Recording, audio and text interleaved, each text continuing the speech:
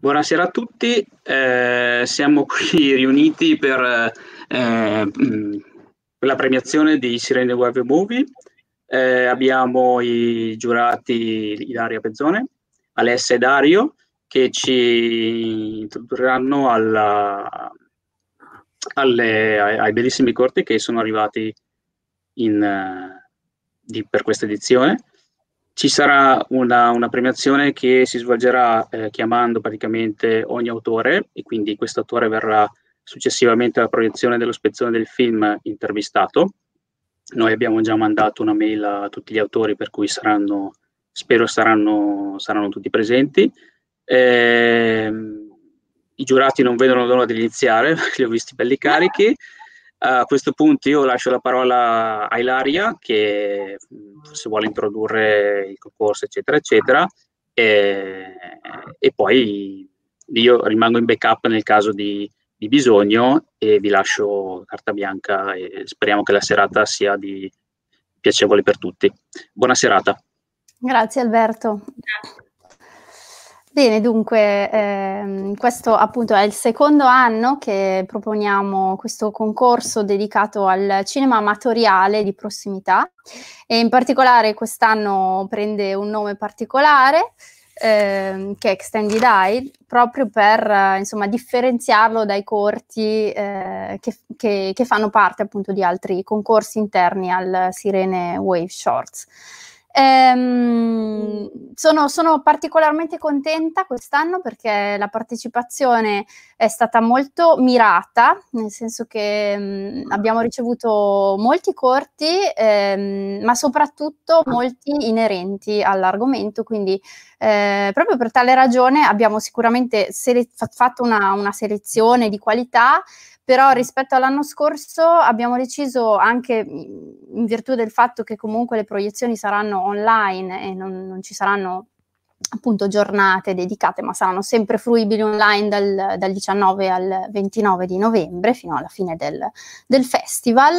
Eh, abbiamo deciso di dare maggiore visibilità alla maggior parte, diciamo, delle opere pervenute. Eh, stasera quelle che vedremo, di cui vedremo in realtà soltanto dei frammenti di, di tre minuti per esigenze tecniche, ehm, saranno soltanto i lavori eh, in qualche modo premiati o menzionati eh, dalla, dalla, nostra giuria che presento. Abbiamo con noi Dario Stefanoni e uh, Alessia Storri, entrambi critici cinematografici. Eh, direi che a questo punto possiamo già iniziare eh, con eh, il primo film da introdurre e lascio la parola ad Alessia. Grazie Ilaria, ciao Dario, ciao a tutti quelli che ci stanno seguendo. Allora, abbiamo scelto per il miglior montaggio Annalisa Gonnella e Arianna Lodeserto con Tombola Cities Images. Vi leggo perché.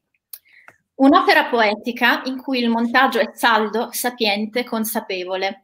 Lo sguardo professionale si rende capace di farsi amatore in questo lavoro vivido, maturo e insieme vibrante, ben orchestrato ma reale. Posso aggiungere, se volete, qualcosa che mi ha colpito di questo lavoro che a me è piaciuto molto, che io ascriverei tra le sinfonie metropolitane, in questo caso la metropoli è Napoli, che di per sé è una città sinfonica, melodica e la costruzione di questo film è una serie di come se fossero dei quadri fluidi che narrano questa città attraverso i suoi personaggi e attraverso la sua tradizione e anche la sua superstizione, perché tombola fa riferimento alla tradizione della tombola, però poi si intreccia anche con le quotazioni di borsa che salgono, che scendono, che vengono osservate con questo sguardo partenopeo di fatalistica accettazione, diciamo, della, di questa discesa delle quotazioni. Quindi c'è una malinconia sorridente mh, mm, che io ho molto riconosciuto, conoscendo anche abbastanza bene la città. Però non è stato questo il motivo che me l'ha fatto amare, ecco, è quello che abbiamo scritto, il lavoro sul montaggio e questa sinfonia che si fa anche danza, quasi una danza folle, una danza bizzarra. E, ehm, se volete, ma abbiamo... Adesso, allora, io inviterei a partecipare mentre eh, avvio l'estratto dal film Tombola, le, una o due, insomma, tra le registe, eh, se vogliono intervenire, perché avremo anche delle, delle domande subito dopo la visione. L'ultima ora inizia ragazzi, tra un'ora chiude. Rien va plus, le jeux sont faits. Ad ogni modo, il mio consiglio per chi vuole fare questo, questo tipo di operazioni, lasciate perdere. no, non lo so, è difficile difficile contrastare soprattutto il grande nemico interno.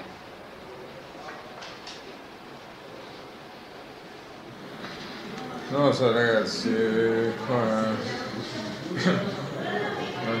c'è poco da ridere, no, dico, con questi numeri, io do i numeri, io do i numeri. Ma non ve li giocate perché non so buoni. Aiuto! 72 la meraviglia. Non mi interessa. bellissimo ma a me no. Mi viene la meraviglia proprio quando capita di incontrare una persona per un sacco cioè non la vedo da un pa- parecchio tempo e quando la rivedo mi viene mi viene questa meraviglia. Mi sento meravigliato perché Cioè non ci posso credere quella persona che non rivedevo da parecchio tempo, quando la rivedo dopo un lungo tempo, non ci posso, non ci posso credere che sia là e quindi là mi, mi, so, mi esce la meraviglia. Mi meraviglio di quella persona, diciamo, come ha potuto credere in un mio progetto.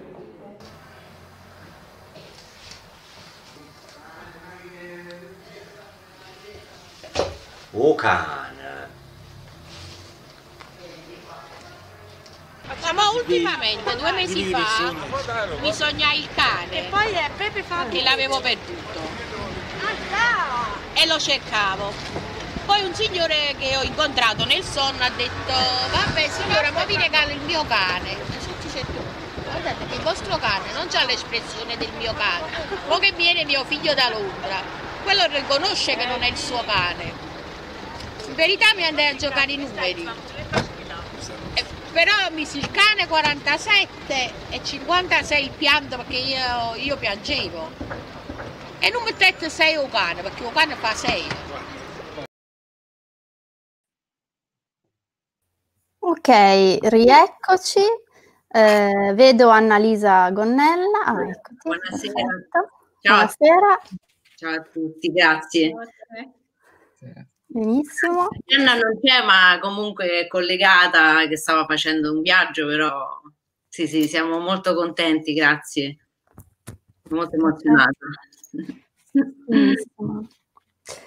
Eh, bene, quindi mh, mm, io in particolare ho visto questo vostro film e mh, mm, mi, mi, sono chiesta insomma quale, quale, fosse stata la vostra esigenza nel realizzarlo. Cioè, mh, nel, nell'ultima schermata, diciamo, ho letto che l'occasione era una tombolata per i detenuti del carcere di Sicondigliano, quindi volevo capire meglio quale fosse, insomma, il contesto che avete ripreso se, e, e, come mai questa, insomma, questa fruizione. Diciamo che eh, questa era un'idea che avevo da un po' di tempo, il fatto proprio di raccontare, diciamo, il legame tra la città e coloro che la abitano, però in particolare pure una città città particolare come Napoli e quindi attraverso un altro legame così magico come quello dell'interpretazione diciamo della vita della veglia attraverso i sogni quindi poi la smorf e tutta l'interpretazione numerica, ma la, l'occasione però in cui abbiamo realizzato con Arianna e i miei amici è stato questo festival che insomma che si chiama Kino, Kino Varco, che fanno in varie città del mondo eh, ogni anno eh, che non è altro che un gruppo di persone che si riuniscono eh, senza nessun diciamo, scopo di lucro o comunque nessuna ehm, cosa di soldi, insomma mettono a disposizione le, le, proprie maestranze, le proprie qualità e si fa insieme nel giro di, questo, di un tempo limitato un prodotto che già si aveva in mente. Quindi si lavora con un gruppo che tu già hai dall'inizio e si scelgono anche altre persone come gli attori che abbiamo scelto, in realtà li abbiamo incontrati lì a Napoli in occasione di questa riunione, insomma. E la tombolata era quell'anno, eh, c'era questa tombolata per i detenuti, eh, insomma, dei carcerati e quindi abbiamo voluto unire anche questa, questa cosa, insomma. Sì. Capito, chiarissima. Sì, sì. Magari qualcuno di voi aveva qualche domanda da porre ad Annalisa. Sì, io avevo una curiosità. Sì. Eh, eh, ad esempio, eh, diceva prima Alessia che da Sinfonia Metropolitana si sa fare danza, il vostro corto. Avevo una curiosità sulle scene di danza improvvisa improvvisata che ci sono a metà e nel finale, come sono nate, se, sono, se c'è stata una mh, costruzione dietro, se sono innescate eh, da qualcosa o appunto so, sono state spontanee. Diciamo che eh, tutto nasce proprio, abbiamo cercato di seguire lo stesso movimento appunto fluido del, dell'estrazione dei numeri della tombola, ovvero quello che mh, diciamo si è sempre fatto nella città di Napoli, ma non solo, è stato proprio questo narrare delle storie attraverso un'estrazione casuale di un numero. E allo stesso modo noi abbiamo estratto questi numeri e poi eh, diciamo abbiamo fatto sì, abbiamo intervistato delle persone attraverso i numeri che erano usciti e questa danza è venuta fuori dal, dall'estrazione del numero 72, La Meraviglia, da questo ragazzo che avevamo incontrato proprio facendo questo film. Quindi, diciamo, la cosa che più ci interessava era riuscire a seguire proprio il filo dell'intuizione e della casualità, che però incredibilmente riesce a fondere appunto questi quadri di, eh, di, di soggetti e di, e di luoghi e riesce a fondere proprio questo interno e esterno che appunto danzano insieme. Abbiamo cercato proprio questo, di costruire attraverso la casualità, però vedendo poi che trova una logica, cioè una, trova una logica. Questo è stato. Sì. Benissimo. Quindi Bene, allora... Sarebbe stato bello stare più vicini per... Eh, Infatti. Eh, vabbè. Vabbè. Esattamente. Complimenti comunque per il vostro, per il vostro lavoro, veramente molto, molto interessante. E tra l'altro è un lavoro come, come, alcuni altri film che vedremo, come quello che per esempio adesso vado annunciando, che mh, mm, eh, sta un po' in bilico no? tra, tra, il lavoro professionale e il lavoro che ha comunque delle caratteristiche eh, di amatorialità nel senso più puro del termine, cioè nel senso di amore verso la materia che si va riprendendo, cosa che abbiamo riscontrato appunto anche nel vostro.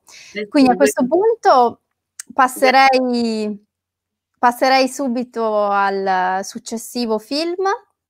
Eh, salutando Annalisa per, eh, e gra- ringraziandola per la sua presenza. Grazie a voi, grazie a voi.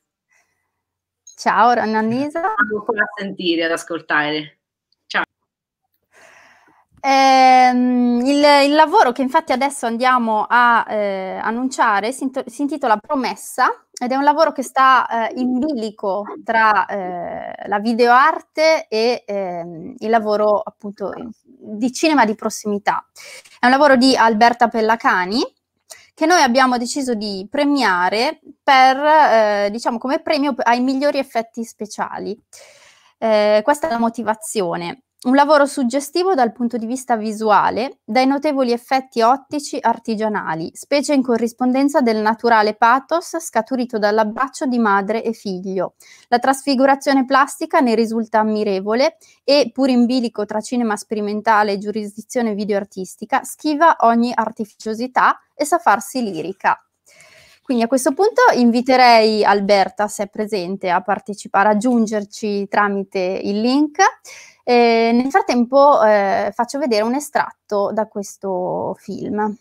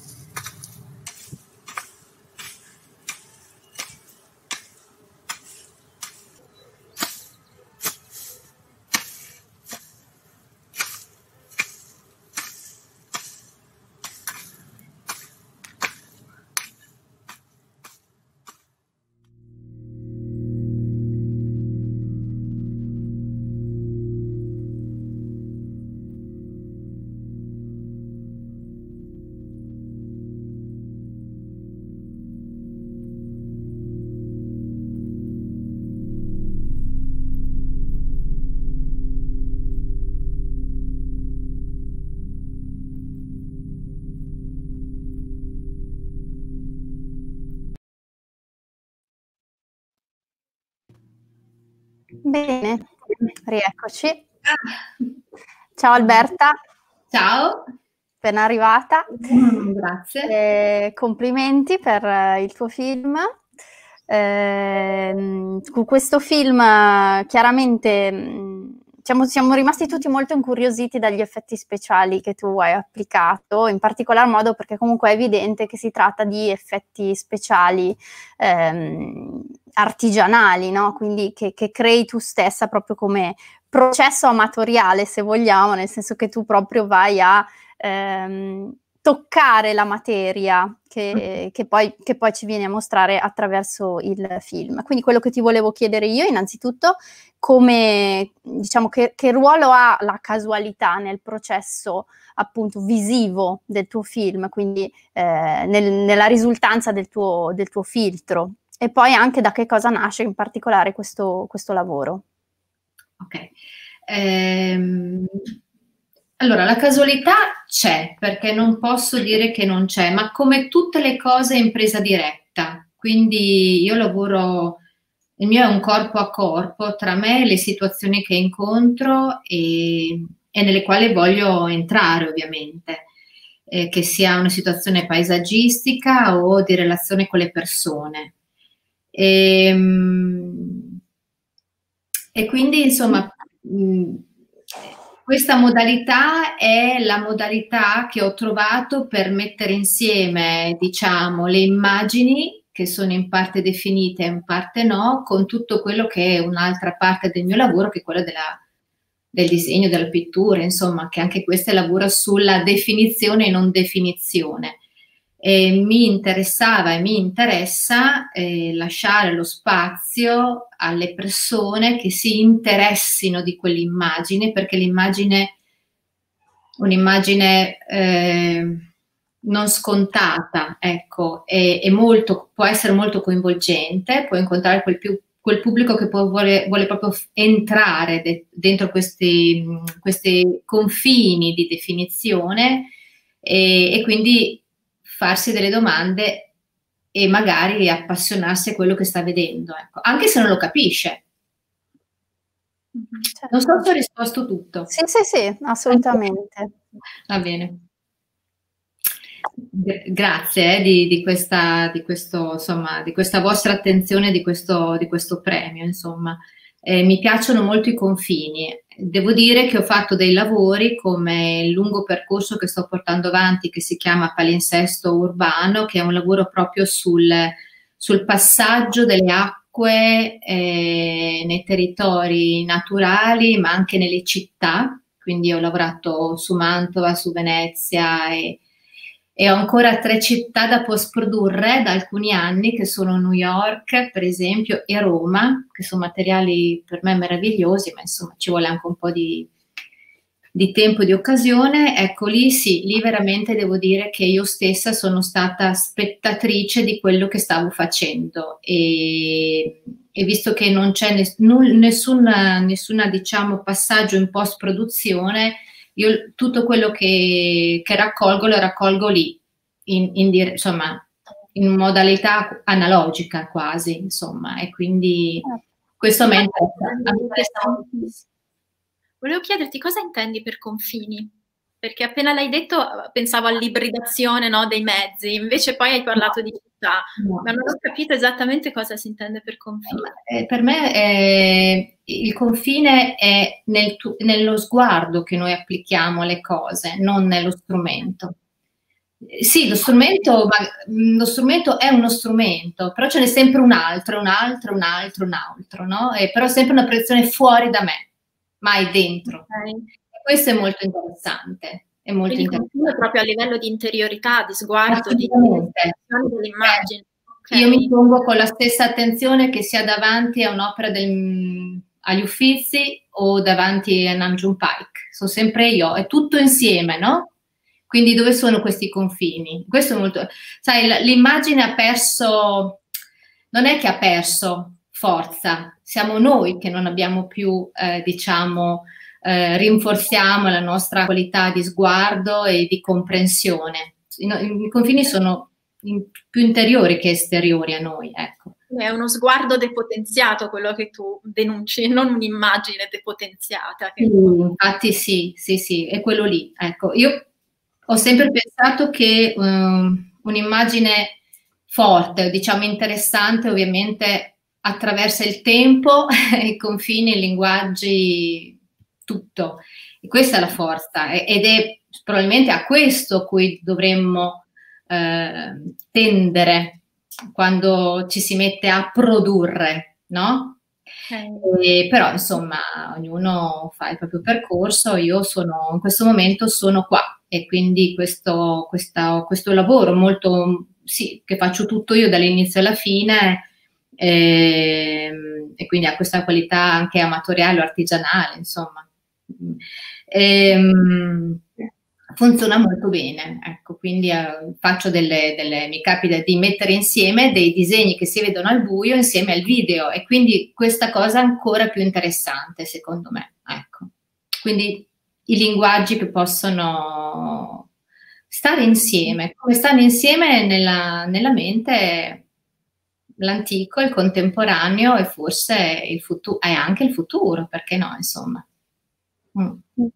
Quindi sperimenti varie forme, insomma. Assolutamente, sì, sì, sì, sì. No, mi piace molto, insomma, tutto quello che è, eh, diciamo, ben fatto con le grandi strutture, perché lo conosco, lo comprendo ed è estremamente straordinario.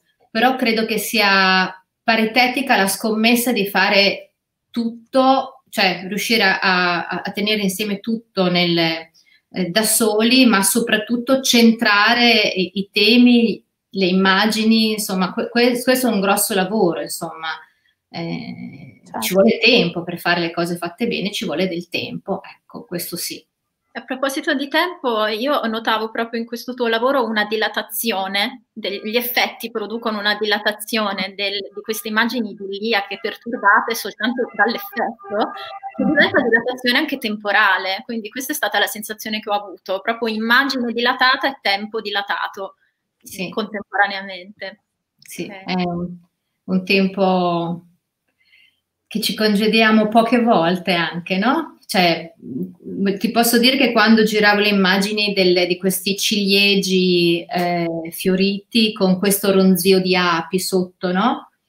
E, beh, ovviamente non mi sarei mai, sarei stata lì tantissimo tempo perché è, è come l'onda del mare, il fuoco, no? Sono queste immagini che queste esperienze di cui non ti stanchi mai, no? Quindi questa fioritura poteva essere lunghissimo, essere soltanto quel pezzo lì a, a loop, no? Cioè, però dopo insomma i tempi della visione sono altri, poi magari se ci fossero delle installazioni, delle, delle situazioni museali potrebbe venire fuori una declinazione.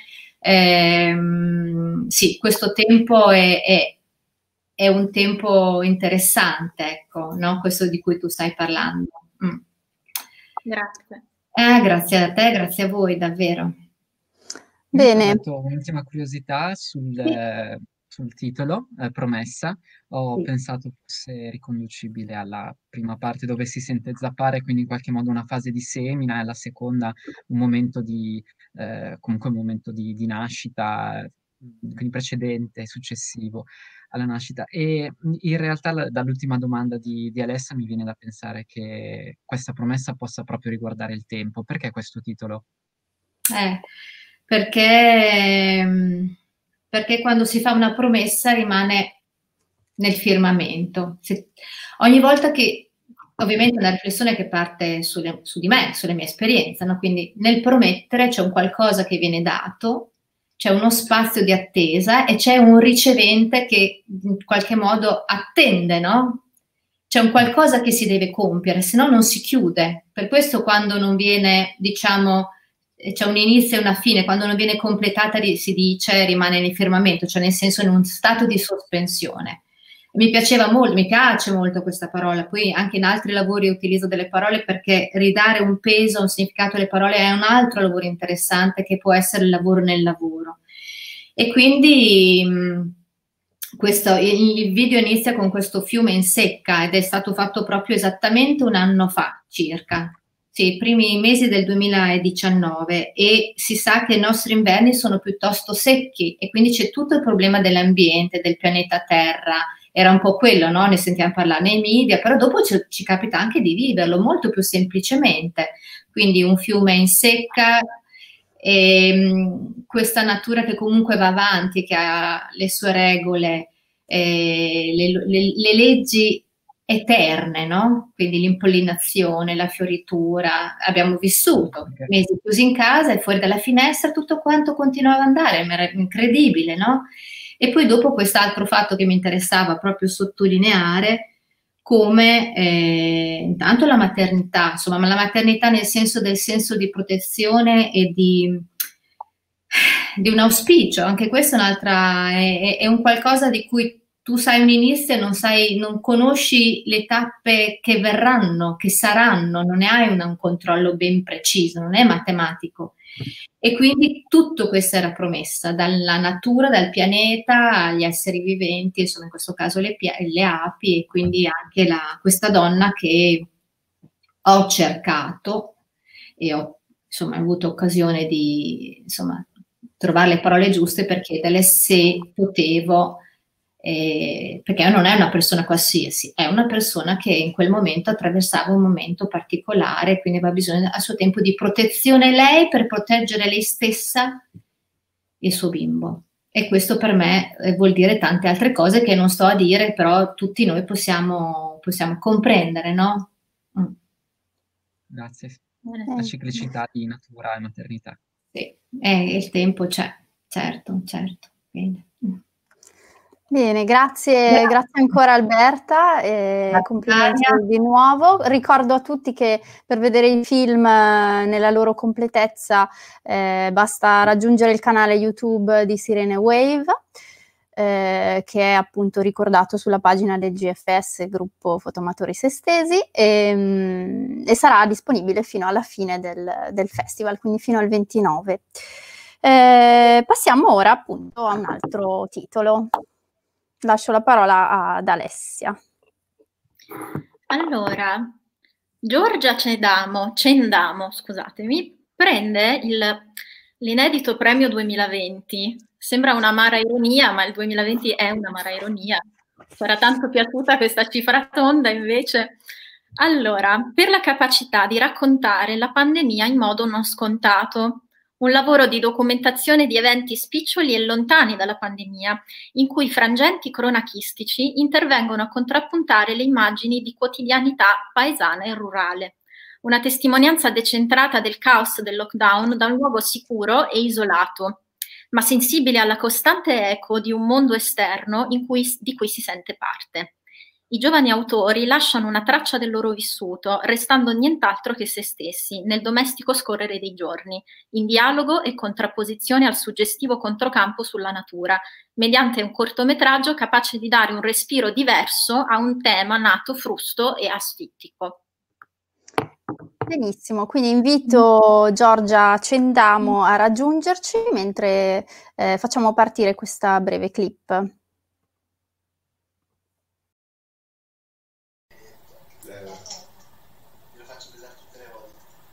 Adelina. Io la volevo chiamare Mina perché non frega il cazzo. Adelina è morta. No. Io ti metti scoppia Sono stato a casa dell'Ali, stiamo attualmente convivendo a casa sua perché ha avuto dei problemi di salute, si è beccata il virus ovviamente e, e non è semplice perché lei ha un monolocale e stare in due in uno spazio così piccolo eh, alla fine dei conti ho tagliato fuori un po' tutti. Oh, ma io sono confusa, cioè adesso ho letto una notizia di un diciassettenne che è stato denunciato perché andava a trovare l'amorosa. Comunque la cosa più importante è capire che eh, se loro non escono di casa da un mese, eh, qualcuno è entrato e io non so chi sia quel qualcuno, però ho iniziato a fare due conti su chi è quel qualcuno. Avendo tutte le sedi in Irlanda, gestendo tutta la cosa dall'Irlanda, non si sta rendendo conto di questa situazione qua e è in completo caos e quindi cioè, non, so non so come mi pagheranno, se mi metteranno in ferie, non so, non so proprio cosa succederà. La cosa certa è che se lo faccio mi, mi becco cioè, de- delle buste paga ridicole, ma veramente. Meno male che ho messo da parte un po' di soldi e non ho fatto spese pazze.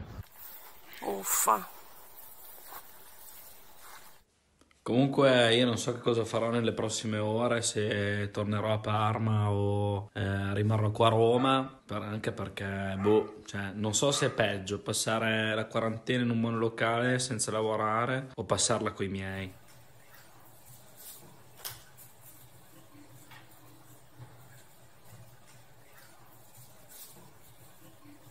Io invece ho la febbre da giovedì, ora sta un po' passando, ma secondo me mi sta risalendo, e quindi forse è coronavirus, ma eh, eh, eh, non lo so. Cioè, non è che sono chiuso in casa, sono chiuso in camera, perché non voglio neanche attaccarle ai miei, esco solo per andare in bagno, tipo. mille volte meglio lavarsi le mani o igienizzarsele con la mucchina perché tu una volta che lo fai non hai più i germi, invece con i guanti c'è sopra il virus e tutto quello che tocchi lo, lo spargi.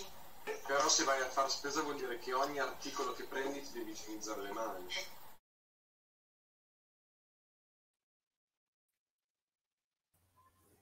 Rieccoci. Eccoci. Ciao Giorgia. Buonasera, ciao, ciao, grazie mille per, per- per il premio e per- anche per, per le parole, insomma, di descrizione che avete dato poco prima di mandare la clip, grazie mille. Ecco, tra l'altro le motivazioni le troverete anche sul catalogo che verrà pubblicato poi eh, sul canale di Sirene, sirenefotografia.it. Ok. Bene. Allora, eh, Giorgia, io ti volevo chiedere una cosa che mi ha incuriosito molto. Mhm. Eh, intanto questo lavoro mh, mi ha coinvolta ed ed è una cosa assurda perché, come dicevamo, non ne potevamo più di lavori sulla pandemia. Tutti quanti hanno sentito la necessità di narrare qualche cosa, che era, cioè, è una cosa bella, ma allo stesso tempo è diventata dopo un po' ripetitiva. Cioè, la Mhm. pandemia ci ha trasformato tutti in fornai e artisti. Invece in questo lavoro c'è proprio qualcosa che riesce a raccogliere tutto, anche cose, dubbi che ci siamo posti tutti quanti, ma farlo con una fluidità che io chiamerei senza posa, non solo perché non si ferma, è un flusso in cui le immagini sono dislocate dall'audio, perché è quello che abbiamo vissuto, ascoltare a distanza persone facendo altre cose, tra attività e stravaccamenti domestici. Ecco, ehm, in tutto questo dicevo senza posa non solo perché è questo flusso, ma anche perché siete totalmente naturali, totalmente spontanei. Quindi il mio dubbio è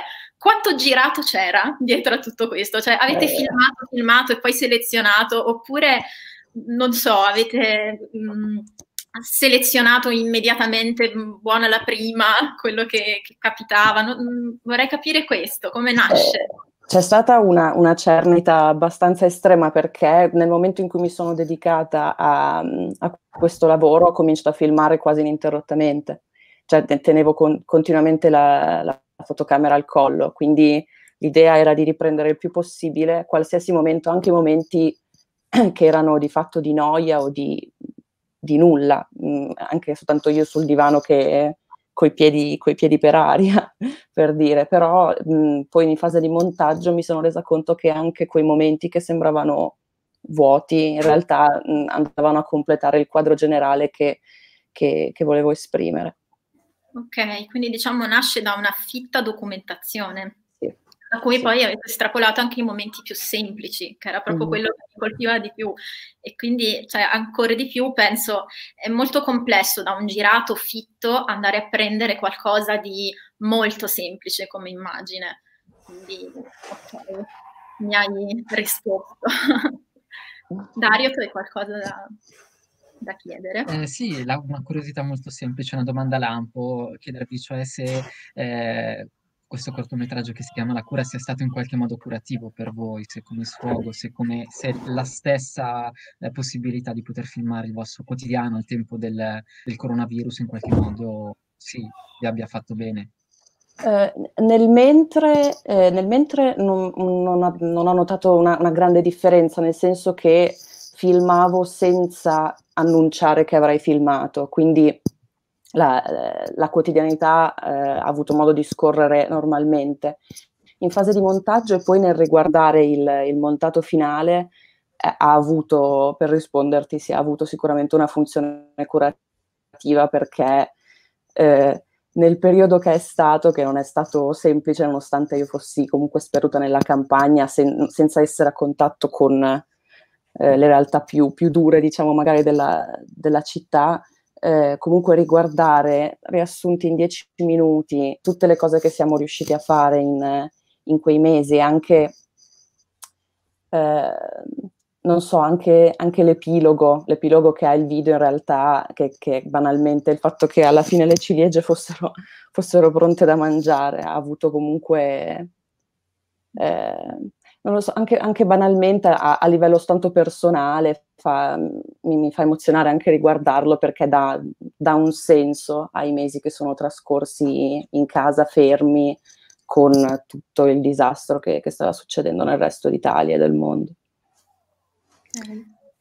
Giorgia, io ti volevo chiedere, avete utilizzato una, una, macchina da presa particolare oppure vi siete affidati agli smartphone per realizzare questo film? Eh, metà e metà. Eh, quando non avevo la, la, macchina fotografica, che è una, eh, una semicompatta non, non professionale, eh, quando non ce l'avevo sotto mano usavo il telefono, eh, però non ho nessuna attrezzatura mm, particolare. Ecco.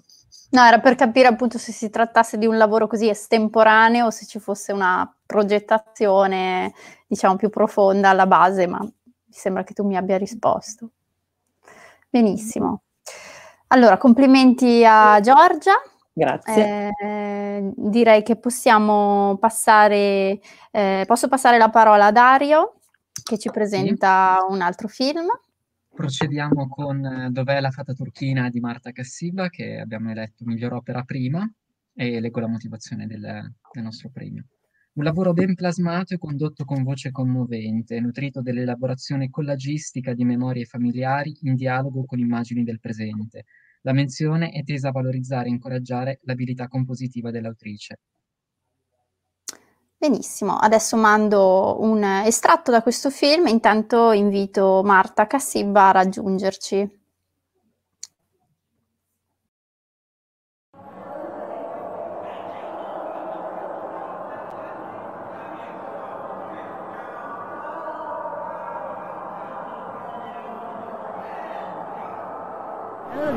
Usare 10 milioni di aggettivi per definire, eh? ma sono tutti positivi. Che ti posso dire strabiliante, sconvolgente, emozionante, Vabbè, traumatizzante, scioccante.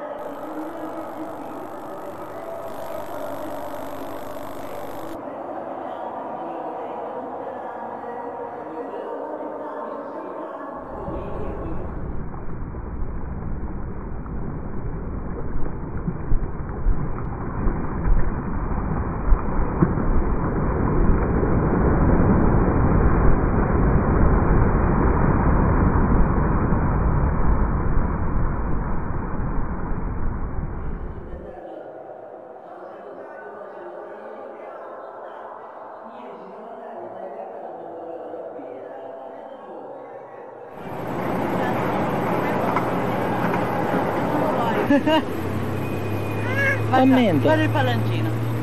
Oh. Va bene, ciao.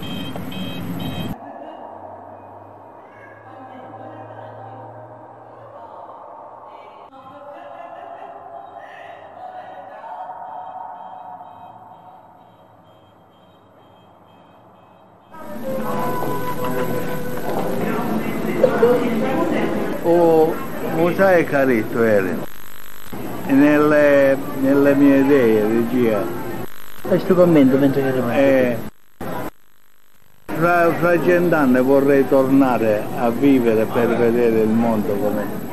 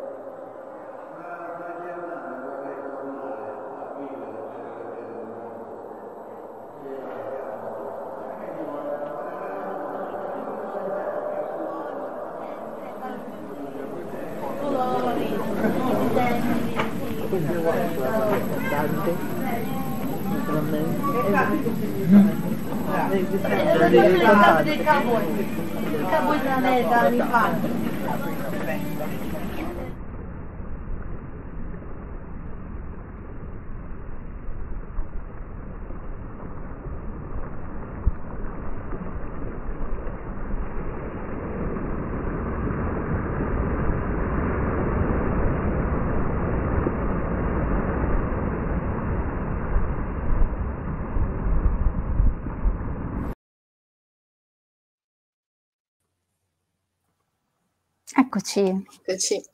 Ciao Marta. Ciao, ciao, ciao a tutti, grazie mille per la, per la premiazione, grazie. Benvenuta e complimenti. Grazie, grazie mille. Bene. Ciao Marta, io inizierei col chiederti innanzitutto ehm, eh, con dov'è la Fata Turchina tu ci proponi un, eh, un breve viaggio nelle tue memorie familiari eh, alternati a dei, eh, una rappresentazione invece del, di te eh, oggi eh, po- molto poetica che fa da contrappunto appunto a ehm, questo viaggio e questo viaggio è una ricerca, questa ricerca è una domanda e mm, lo stesso titolo del tuo cortometraggio è una domanda. Eh, com- cosa hai cercato di ritrovare attraverso questo- questa ricerca, questo viaggio e qual è la tua risposta? Allora, eh, innanzitutto apprezzo ovviamente il, il fatto che abbiate notato questa contrapposizione perché effettivamente il mio intento era proprio quello di eh, rappresentare tramite questa metafora che è appunto il flusso dell'oceano, eh, eh, quella che poteva essere l'immedesimazione e la- il, il- il percorso dentro questi ricordi, dentro questo flusso di reminiscenza. E, mm, e dentro, dentro questi ricordi io fondamentalmente cercavo me stessa, nella- forse nella più banale eh, osservazione di- che, che ognuno può fare di se stesso, però io ricercavo me stessa ed è stato un- per me un processo conoscitivo, eh, di, di reinterpretazione identitaria comunque, perché eh, sono molto legata al concetto di, di memoria come mh, mezzo di sussistenza dell'uomo, come mezzo di riappropriazione identitaria. E quindi dobbiamo partire da, da queste cose, da- dagli archivi, dalla, ehm, dagli archivi di cui forse un po' tutti disponiamo, che magari abbiamo lì in soffitto da qualche parte nascosti e, e che rappresentano un, un tesoro ereditario immenso. Quindi io mi sono ricercata attraverso le gesta dei miei genitori, le, le loro parole, la, la loro vita, quello che è stato, quello che sono stati, per ritrovare quello che poteva essere un pezzo di me stessa, le, le mie radici eh, e quello che potrò diventare magari. Ehm, l'immagine così diventa una memoria eh, lo- ed è molto importante questa considerazione soprattutto nella, nella società attuale che magari viene un po' fuorviata no? la considerazione dell'immagine perché ormai è totalmente manipolata da un senso della manipolazione del presente totale, quindi io volevo distendere anche, allargare l'orizzonte anche tramite i rallentamenti che faccio dell'immagine, eh, perché volevo creare delle distensioni anche mentali eh, di ricerca. Infatti a questo... spalle, sc- scusami Ilaria, No, no, sei di spalle verso il mare? Come? Detto, sei tu di spalle verso Sì, il mare? io, Ah, vedendo i capelli vedo, ecco. si capisce tutto. Sì, sì, eh, No, a questo proposito, infatti, ti volevo proprio chiedere se pensi di proseguire su questa strada legata al recupero delle memorie private e se per caso hai altri progetti in corso. Stai lavorando a qualcos'altro? Allora, assolutamente sì, io credo che mm, la questione archivi, eh, grazie all'Accademia eh, soprattutto, ehm, per me è diventata importantissima e credo diverrà un, un punto fermo nella mia vita. Infatti spero di eh, proseguire anche dal punto di vista professionale, di conciliare questi aspetti perché ci credo tanto, personalmente ci credo tanto e credo che possano essere dei mezzi di, um, come dire, di, di, crescita sociale, di crescita della memoria collettiva, pure come diceva Olvax, quindi sostengo questa tesi e la sostengo tramite questi mezzi che tutti abbiamo eh, e, e, questo lavoro infatti spero sia proprio un monito un po' per tutti di riconsiderazione anche dei mezzi di cui disponiamo? Quindi anche i nostri cellulari come abbiamo visto nei corti precedenti, pure ad esempio la cura, un mezzo si è trasformato in qualcosa di esplorativo, intenso, bellissimo. Quindi eh, continuiamo a creare archivi e continuiamo a, a riconsiderarli. E per quanto riguarda i progetti vari, sto lavorando a un documentario che però si distacca dal punto di vista degli archivi. E, e niente, so, ho un sacco di materiale in realtà che ho digitalizzato in questi mesi e che ho intenzione di riesplorare, quindi sicuramente lo, lo farò e continuerò. Bene, quindi che questo, che questo premio sia di buon auspicio per tutti i tuoi lavori futuri. Assolutamente lo sarà, anzi vi ringrazio tantissimo, apprezzo tanto questa, questa cosa. Grazie mille. Grazie a te, Marta. Tra l'altro io invito chi ci sta seguendo da Facebook, se vuole, a fare commenti, a fare domande, noi possiamo leggerle eh, eventualmente porle, visto che avete la possibilità di vedere i video sul canale, eh, magari vi siete fatti un'idea, avete delle domande. Bene, ehm, io adesso passerei a un altro dei film finalisti di questa sera, eh, che si intitola W Exist di eh, Ki Ling Chuan, eh, che noi abbiamo premiato eh, come miglior fotografia leggo la motivazione. Il film costruisce una narrazione fittizia, mai banale, sull'esperienza della pandemia, affidandosi ai sensibili valori plastici e formali dell'immagine di reportage, con piena padronanza nella cura dell'inquadratura estemporanea. Quindi ancora una volta un lavoro sulla pandemia, ma ehm, svolto diciamo, in, affrontato in maniera differente, eh, addirittura facendo entrare mh, in quello che comunque chiamiamo cinema di prossimità la finzione, cosa abbastanza comune anche tra eh, altri mh, dei lavori selezionati. E penso per esempio a Miasma di Deliberato, che stasera non abbiamo il tempo di vedere, ma che comunque ha inserito eh, diciamo una narrazione fittizia proprio fatta attraverso la parola che va a contrapporsi quella che invece è un'immagine eh, per certi versi documentaristica. Quindi eh, chiamerei a partecipare Kilin Chuan, che so che si fa chiamare Alba, quindi la chiamerò Alba per praticità, perché non sono sicura della pronuncia, e quindi eh, a questo punto faccio partire il filmato. Eh, eccolo qua.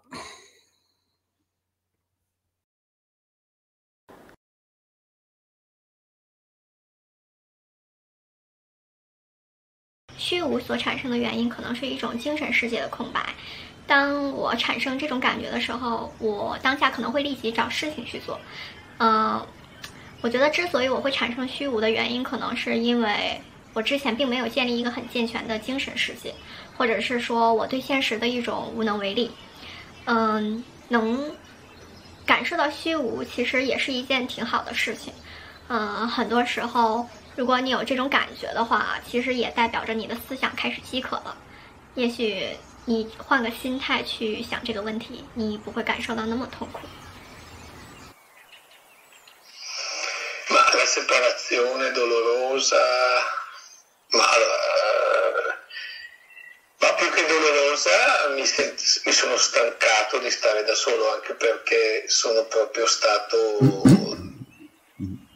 Sempre a casa da solo, proprio da solo mm-hmm. tutto il giorno. Però non era dolorosa perché comunque non, non c'è una presenza fisica, mm-hmm. però c'è una presenza nella mia mente, nel mio cuore, nel mio... comunque c'è quella.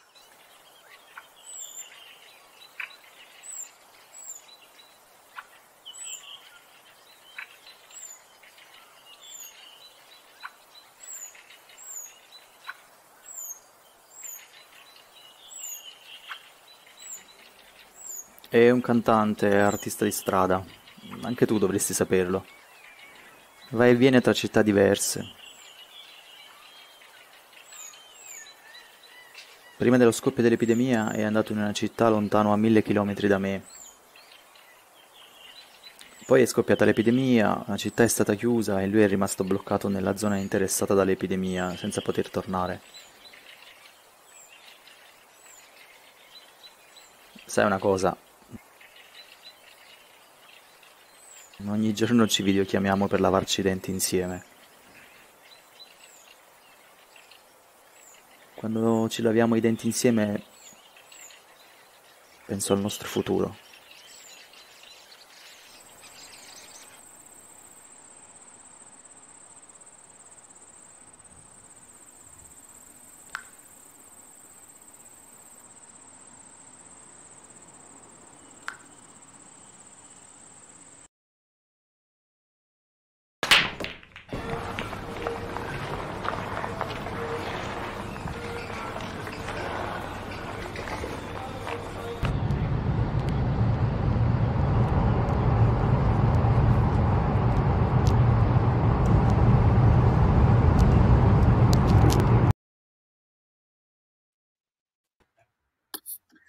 Eccoci, ci risiamo. Ciao Alba. Ciao.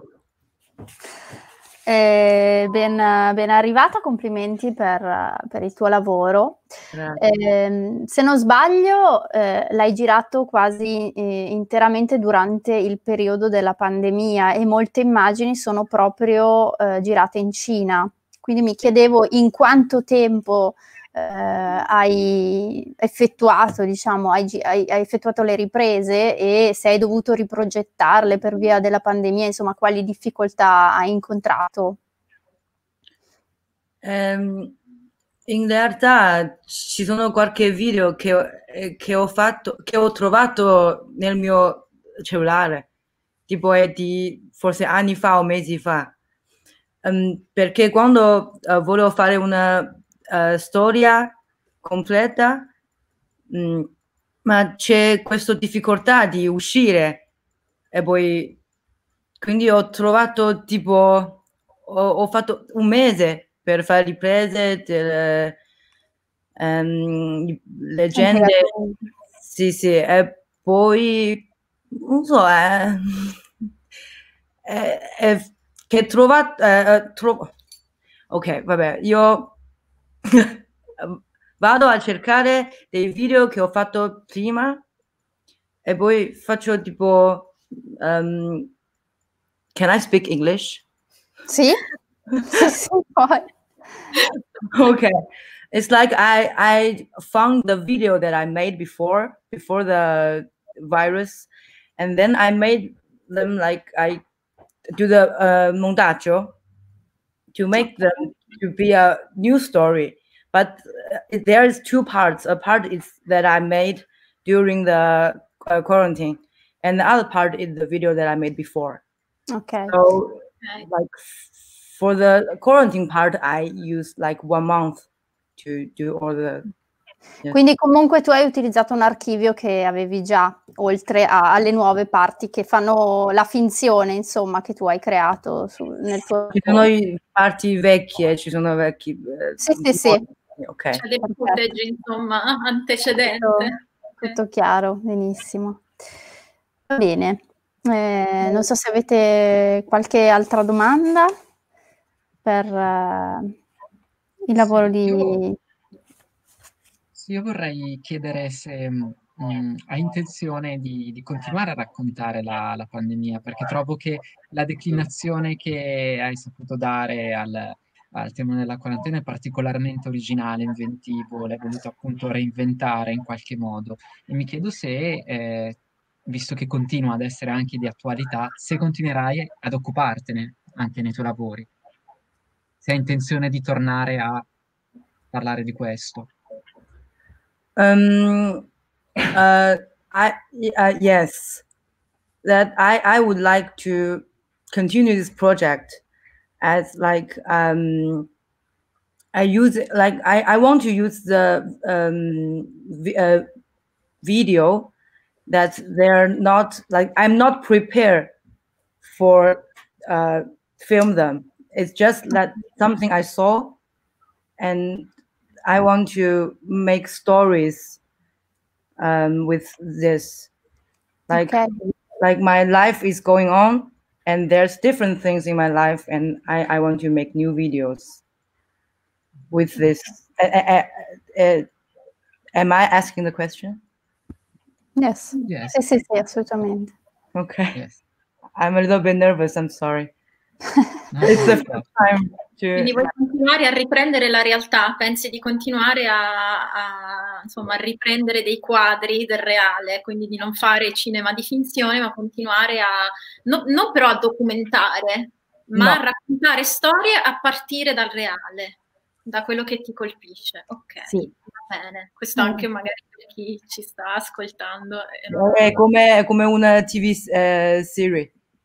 Like, Ok. I- it's like, La TV serie Ah. è reality praticamente. like, like episode, episode and like different reale, quindi pandemia inclusa. Ok. Assolutamente. Sarà bene. interessante vederne gli esiti. Ma- Ma allora sorge spontanea la domanda, tutto quello che noi abbiamo visto nel tuo film è tutto reale oppure è un reale reinventato? Cioè sono delle scene capitate oppure c'è qualcosa che è stato No, è deciso? tutto, è tutto vero, è reale. Ok, quella è comunque tutta realtà. Sì. va bene, va bene. Grazie. Grazie a voi. Perfetto, grazie, grazie Alba. Allora, ehm, adesso passerei la parola a Dario che ci presenta il prossimo film. Il prossimo film è Euridiche di Lucia Barbagallo, a cui abbiamo dato il premio come migliore colonna sonora. Leggo la motivazione. Uno sguardo sospeso sull'umile realtà che osserva, distaccandosene come a fuggirne la sorte terrena, con un accostamento acustico oculato e confidenziale. Bene, allora inviterei Lucia Barbagallo a raggiungerci, intanto mando eh, la proiezione di questo estratto.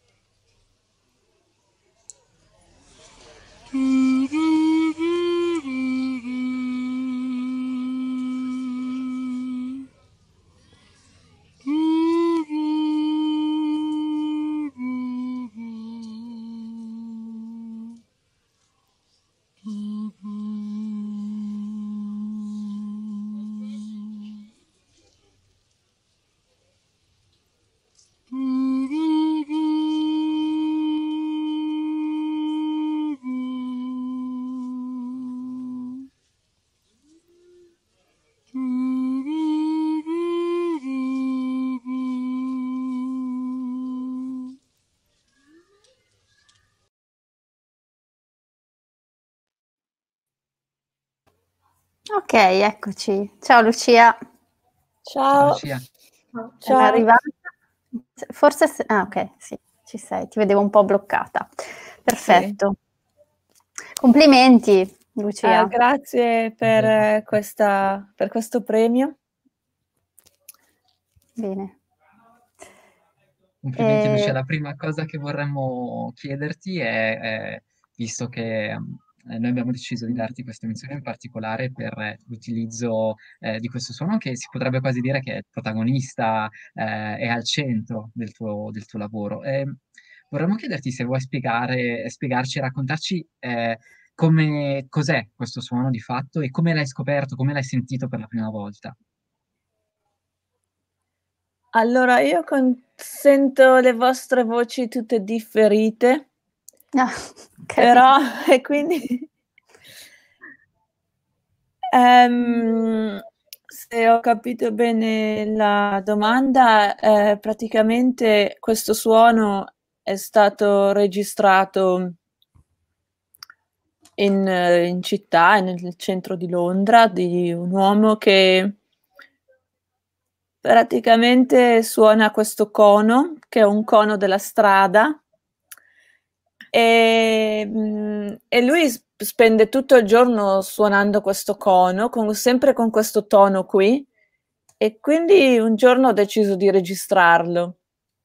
E poi avevo queste riprese video che avevo fatto invece in altre città e ho deciso di mettere tutto insieme questo materiale e costruire questa storia, partendo appunto da, eh, questo, da questo suonatore di strada che si chiama Tim e che appunto produce questo suono. Ok, perfetto. Beh, Lucia, ma è arrivato. No, dico indifferita, ma almeno l'audio arriva, no? Sì, sì, esatto, con un po' di, con qualche secondo di ritardo, ma ci siamo. Lucia, ascolta, io ti volevo chiedere anche un'altra cosa, perché comunque sì, il suono è, mh, diciamo, il protagonista del tuo film, però riesci eh, a non depotenziare le immagini che utilizzi, nonostante passino per certi versi in secondo piano. Eh, questo lo si nota in particolar modo anche guardando altri tuoi lavori. Ehm, quello che mi interessava capire eh, è proprio se, se tu ehm, hai una progettualità mh, particolare rispetto a quella che è la scelta cromatica delle immagini, che, che appunto è legata principalmente a delle condizioni ambientali particolari. Eh, in pratica ehm, ho un po' un, un trucco, che non è un trucco, è una cosa che sappiamo tutti.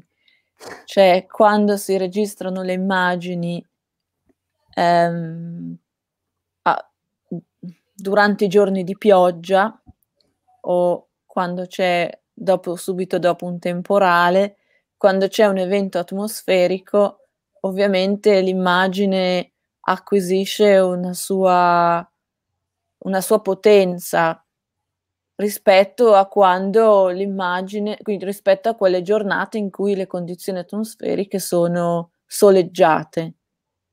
Quindi ci deve essere, se deve esserci il sole, ci deve essere un sole fortissimo che fa appunto, rende il cielo azzurro, per cui altrimenti quando è soleggiato eh, tra il nuvolo e il sole l'immagine lì perde anche proprio di qualità, di profondità, manca una profondità di campo, mancano i colori. E invece quando mh, piove, quando c'è un, un temporale, una forte nebbia, allora lì si hanno veramente, eh, c'è, c'è veramente una magia, no, nel paesaggio che ne vale quasi la pena soffermarsi e osservare. Quindi fai un lavoro proprio durante la ripresa piuttosto che in post-produzione. Sì, eh, in post-produzione non credo di essere, penso di non avere neanche le capacità per poterlo fare. Cioè, mi interessa di più, sì, un lavoro di, di ripresa, cioè mi diverto a fare la ripresa, mi diverto a, fare, a costruire l'immagine, a attraversare il paesaggio, percorrere fisicamente il paesaggio, esplorarlo fisicamente, per- piuttosto che stare delle ore davanti a un computer e, e copia, incolla, aggiungi, fai, taglia. Sì. È un po' un procedimento da, da pittore paesaggista inglese, da pittori, sai, della luce, tipo. Sì, no, infatti vivo a Londra. quindi- Si vede che l'Inghilterra ispira questo, ispira procedure metodiche e meteorologiche di, di lavorazione. Sì, eh, c'è questo fatto in Inghilterra che il tempo, il- appunto le condizioni meteorologiche vengono prima di qualsiasi cosa, quindi anche che tu devi uscire e incontrarti con delle persone, eh, soprattutto adesso che c'è la pandemia per cui non ci si può più incontrare, che ne so io, al museo o in un bar o che altro, allora piove o non piove? Ok, piove, non si esce. Cioè, cioè, è un po' Certo. così. E poi sì, ovviamente i miei interessi sono poi quelli lì, c'è da Derek Jarman, Hamish Falton, Richard Long, ehm, Herzog Mhm. e, e altri, altri che hanno lavorato sul paesaggio. Sì, quindi comunque autori del colore, della natura, della- dell'osservazione naturale.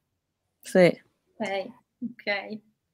Lucia, tra l'altro arriva un complimento anche da un'altra protagonista di questo festival che è Alberta Pellacani che scrive Lucia mi piace molto il suono che hai registrato e preparato per il film, complimenti. Ecco, Eh, quindi Grazie, grazie molto. ringraziamo. Va bene. Grazie Lucia, complimenti ancora. Grazie. E Eh, sì, continuo a guardare. va bene, grazie. Dario, ti lascio ancora la parola. Sì, io procederei ad annunciare le menzioni principali, eh, ehm, innanzitutto con la menzione speciale della giuria a Bertrando e Bernardo di Francesco Selvi e ora vi leggo la motivazione. Un calembur di lucida follia, sperimentale e provocatorio, in pieno spirito dada. Nell'opera, fragilissimo atto di creazione scentrato e liberissimo, si staglia prepotente e non conforme la creaturalità amatoriale. La bizzarria di suono e animazioni, i gorghi di parole, di raffinato infantilismo e l'assetto musivo lo fai, con tasselli di riprese reali, danno vita a un'obliqua forma di poesia audiovisiva. Bene, io inviterei Francesco a raggiungerci, intanto mando questo breve estratto surreale dal suo film.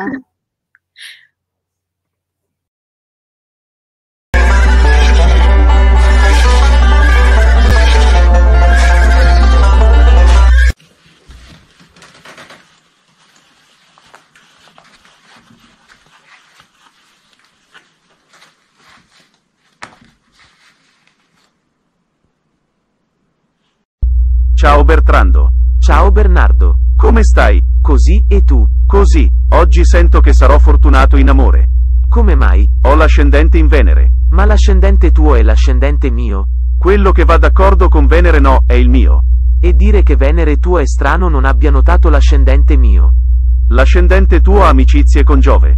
Ma se facciamo incontrare Giove mio con Venere tuo a pranzo con Urano suo potrebbe nascere una bella amicizia. Venere mio è geloso dell'ascendente suo. Giove invece fa l'occhiolino all'ascendente tuo che poi l'ascendente mio magari ci prova con Venere tuo. Non funzionerebbe, Urano rimarrebbe solo. Solo e senza amore? Amore di ascendente in Venere.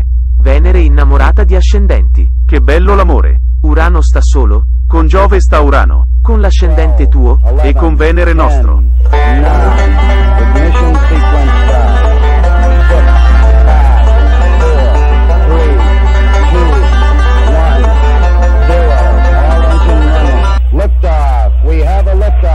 32 minutes past the hour. Liftoff on Apollo 11.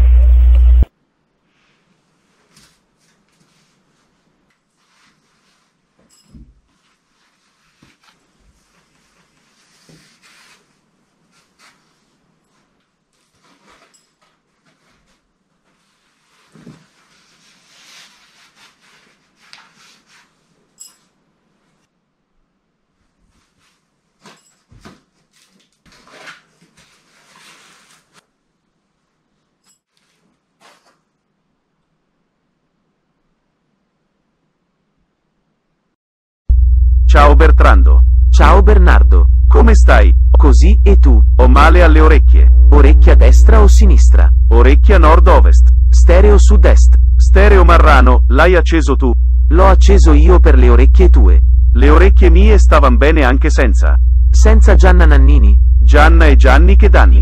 Gianni è quel Gianni. Ho giusto un CD. Ti prego, son troppo sensibile per Gianna o per Gianni o per Nick. Dammi le orecchie e ti faccio sentire. Sentir musica colta? Sentir fior di acufeni. Acufene tuo del suono mio che proviene dallo stereo nostro con Gianna e con Gianni. Acufene tuo nella testa mia che sogna Bach senza solo di Nick. Questione di gusti. Gusti di Gianna. Gusti di Gianni. Gusti di merda. Tua? Nostra. Eccoci. Ciao Francesco, Ciao. benvenuto Ciao. Ciao, grazie. e complimenti. Grazie, grazie mille. Sono molto contento di essere qua. Scusate, avevo detto con Ilaria, sono un po' in mezzo ai fornelli, sto facendo dei, dei finferli e salute. Da una cena e ci tocca con queste robe terribili, le 10, le 10 meno 5, ci tocca mangiare come i nonni. I miei nonni alle 6 e mezza erano già a tavolo. Francesco, Ecco. credevo ti dicesse Finferli. Mi sto stupendo di questa cosa. Ah, perdono, ma eh, boh, eh, qui eh, in via Nullo, numero 52, 47 121 Forlì si dice Finferli, ma solo qui, eh. Io non ho idea, fuori non ne ho idea. No, no, anche, anche qua ti dice Finferli in realtà Anche è Bronzo, sbaglio. Verbagna Fiammastero. Magari dipende un po' dalle zone.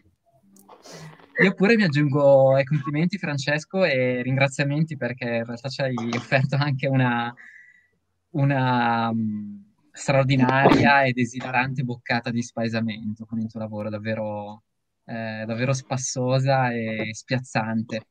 E io partirei col chiederti Oh, molto semplicemente come, grazie a te, come, come l'hai realizzato? Perché dicevamo, il lavoro comunque evidentemente composito e multiforme perché contiene in sé eh, un po' di animazione, riprese reali, fan footage, eh, effettistica assortita, e, insomma, come l'hai fatto? Come Mm. ti è uscito?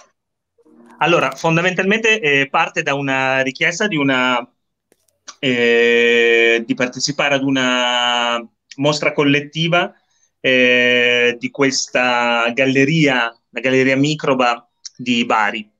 E, mh, vabbè, adesso non sto a spiegare perché poi ho fatto questo, però fondamentalmente c'era un'immagine che mi ha fatto così pensare un pochettino no, al sé e all'altro da sé, come in realtà noi mh, eh, siamo così diversi tutti, ma se poi attraverso le analogie siamo poi tutti in qualche modo anche uguali, uguali, di- convergenti e divergenti allo stesso, nello stesso momento. E allora chi più che due gemelli siamesi, fra l'altro attaccati per il culo, non si vedono mai, eh, a volte per fortuna, eh, no? Non vedere l'altro che non vedere neanche se stesso, e quindi a volte veramente è una fortuna. Noi purtroppo invece che eh, insomma abbiamo gli occhi davanti e il naso, la bocca, tutto, ci tocca vederci e sopportarci. Eh, loro non solo devono sopportare eh, se stessi, ma anche un se stesso bifronte e doppio, eh, che non vede l'ora di, eh, di mollarsi, eh, ma che in qualche modo è attaccato per sempre, forse non solo fisicamente. Ehm, non è chiaramente un lavoro sui gemelli, era una mia, mi davo così una possibilità di scrivere questi quasi calembur, queste quasi, non lo so, micro tragedie che devo dire mh, sarà legato alla- al mio essere un po' autistico. Eh, insomma, mi viene molto semplice. Se mi metto qui così a scriverne una, ne scrivo una sui Finferli, eh, bene o male, o, o Finferli, e qualcosa viene fuori. Qualcosa, poi magari non buono. Come- com- com'è? Esatto. Fare da un lato Finferli, dall'altro Finferli, è così. No, e- farle un Finferli e Finferli che potrebbe essere un seguito di Bertrand no, e poi del resto non- io non, non faccio mai niente da solo, ma perché questo è anche il mio vivere in qualche modo in qualche modo anche l'amicizia proprio, eh, che per me è sempre un eh, creare qualcosa insieme, non, non, è quasi mai solo la, la, bevuta, insomma sì, ok, c'è anche quello eh, evidentemente, eh, però c'è anche, insomma, sognare insieme, è per questo anche che io veramente non, non, non faccio, non è nessuna polemica, però per quanto mi riguarda una cosa prettamente personale, non ho mai fatto e mai farò del cinema del reale, non, non proprio non mi interessa. Cioè, a me il reale proprio credo che con Bertrand e Bernardo si veda, proprio non mi interessa. Uh, non, scusate, è proprio è anche un limite perché ad un certo punto, boh, per fortuna che ne parlano tutti, perché magari non saprei neanche che siamo in un secondo lockdown, non, proprio non, non, me, non, me, ne curo troppo. E, e niente, quindi eh, mi perdo, eh, fondamentalmente è stato grazie anche all'amico Matteo Pini, che è un designer, eh, in cui in delle serate così eh, abbiamo iniziato a fare eh, queste proto-animazioni, ehm, sono state riprese poi da Matteo, le riprese con una GoPro, quindi veramente tutto casalingo perché veramente fatto in casa in casa di Matteo Pini e non la mia. Cioè io scrivevo a casa mia, poi andavamo a casa sua, facevamo insieme questa cosa perché io non sarei mai in grado di fare un'animazione, non, ma proprio non me, ne, non me, ne, curo neanche, anche quando nei film, nei miei progetti più... Uh, cioè no, non più grandi, perché poi un progetto grande e piccolo per me hanno la stessa valenza, ecco. Uh, non lo vedrei come un progetto di serie B assolutamente.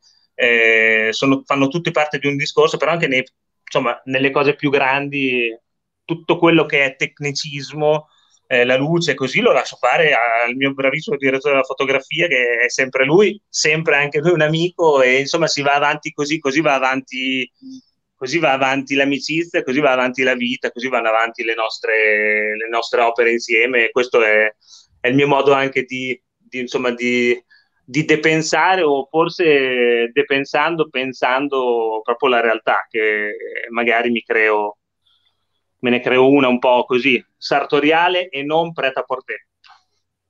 Francesco, abbiamo molto apprezzato queste le qualità del, del, tuo film, anche proprio che vanno al di là della realtà, questa surrealtà che tra l'altro vediamo anche in questo incontro che stiamo facendo virtualmente, così movimentato, che appunto continuiamo ad apprezzare.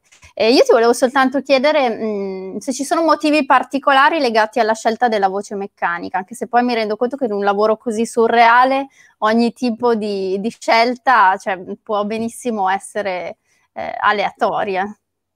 Guarda, no, no, non è, non è, aleatoria, è un fatto proprio di, uh, di necessità in questo caso. Non, uh, se ci avessi messo, perché i testi sono proprio, allora, devo dire che il mio cinema parte quasi sempre più dalla, da un aspetto letterario che da un aspetto filmico. Io non sono un cinefilo e invece mi, mi sgrano non, non, so quanti libri all'anno. Ecco, eh, uno dice, ma perché fai cinema? Beh, cazzo vuoi? Faccio cinema. Beh, questa è una... ok. Ehm, però ecco, uh, la, soltanto l'idea di avere, di avere, una voce anche impostata da attore, cose così, mi, mi avrebbe fatto venire la pancreatite eh, che forse è anche peggio di, di, del Covid, non lo so. Ehm, e quindi eh, semplicemente, secondo me, in una... Cioè, perché la cosa che spero che sia, ma credo, mi sembra che sia passata, altrimenti poi non sarei qui, è che in realtà sembra tutto appunto aleatorio, no? Uh, in realtà anche quei rumori di fondo, anche quel, volendo anche i disegni che sono così sgrammaticati, no? se uno li va a vedere bene, sono, non sono ben eh, contornati, non sono, eh, cioè fanno tutto parte di uno stile. Io lo volevo proprio così, ecco. Quindi eh, in realtà, ecco, non, non, è aleatoria, ma è proprio per un fatto di non dover uh, subire anche lo, lo, lo, lo, smacco di sentire una voce impostata un po' alla da, dalla recitazione, così che sarei veramente caduto per terra. Poi non so, era un puzzle bello grande da, da risistemare e da ricostruire. Carmelo Bennett aveva molto con la voce impostata narcisistica degli attori, quindi sareste andati d'accordo da questo punto di vista. Beh, ma lui era, no? Era, vabbè, vabbè, vabbè, dai, no, ma cosa parliamo di Carmelo Bella, Jean-Pierre? cioè, Comunque, insomma, se c'è una roba importante che si è lasciato, forse è proprio quella, la, la Foné. E... e quindi niente, beh, comunque anche lui cioè, era molto dedito al depensamento, questo non, non, non, mi, non, mi, non mi metto assolutamente al così, però insomma si tenta di far parte di, di una famiglia, o meglio, no, neanche, da, disconosciamo la famiglia, diciamo semplicemente che ci sono delle simpatie, ecco, sicuramente delle simpatie ci sono Okay. eh, per CB e per un sacco di, di altre personalità. Francesco, io ho una curiosità nerd. Perché la bandiera della Thailandia? Perché prima quella bandiera la- era la bandiera del Siam e quindi loro, essendo due gemelli siamesi, eh, è la bandiera del, del Siam. Eh, fantastico, Ehm, ecco, vedi, potevo quindi arrivare era- a pensarci di più. era. Eh, dovevi studiare, però ca- capisco che dopo i Finferli io... No, no, lo era, so era la bandiera del Siam, Siam, ma non ho ma- fatto il collegamento, vedi? Bello. No, perché sai, eh, sono, sono- eh, vedi anche questo che poteva essere una cosa così ehm, buttata lì. In realtà è, è- è una cosa così che se uno ci, eh, ci arriva da solo e tutto, dice: Ma che cazzo, è la bandiera del Siam e gli strappa ancora di più una risata perché dice: Ma è veramente, è, è veramente strappato di LSD. Invece, no, è tutta così, è tutta boh, È materia una grigia ammuffita. Va bene. Bene, Io vi ringrazio, grazie mille. Francesco, a bu- te. bu- buona cena, ci, ci stai facendo venire voglia di aggiungerci a- alla tua tavola. Eh, perché poi c'erano anche delle buone patate arrosto e dei crostini, un po' di roba. Qua dalle 4. Accidenti. Va Vi bene. ringrazio. A Grazie a te. presto. Ciao. Ciao, Ciao, buona Francesco. serata. Ciao, ciao. Ciao, ciao, ciao. Ehm, bene, quindi eh, passerei la parola ad Alessia, che introduce il prossimo film. Va bene. Allora, per il miglior soggetto, Aurora Sergi con Kepler 3705b o 3705b, un'idea non convenzionale dà forma a una riflessione sull'essere vivente, espressa attraverso la dissociazione voce-immagine che fa dell'utero un paesaggio e della gestazione un viaggio fantascientifico. Il distaccato intimismo di un racconto che sembra recuperato da un'altra epoca qualifica anche questo lavoro come una rielaborazione del film di famiglia, ma in un'altra dimensione. L'icastica brevità e il senso di incompiutezza conferiscono al corto un valore di frammento cristallizzato, quasi indecifrabile, una concezione che incoraggia la nascita di una poetica. Bene, ehm, adesso mando eh, in onda eh, l'estratto da Kepler e intanto invito Aurora a raggiungerci.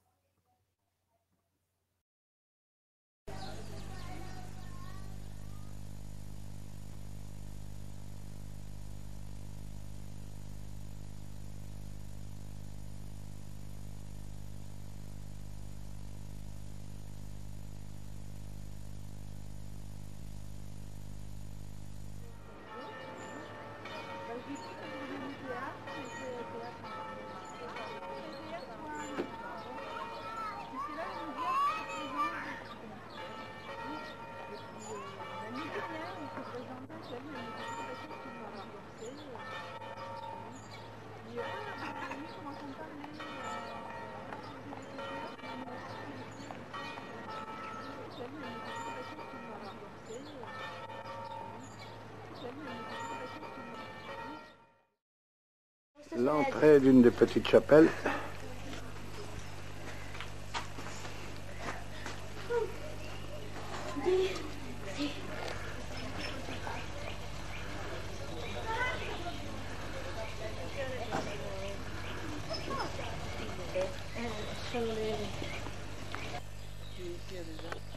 Actuellement, toute la famille escalade le- les derniers 50 mètres.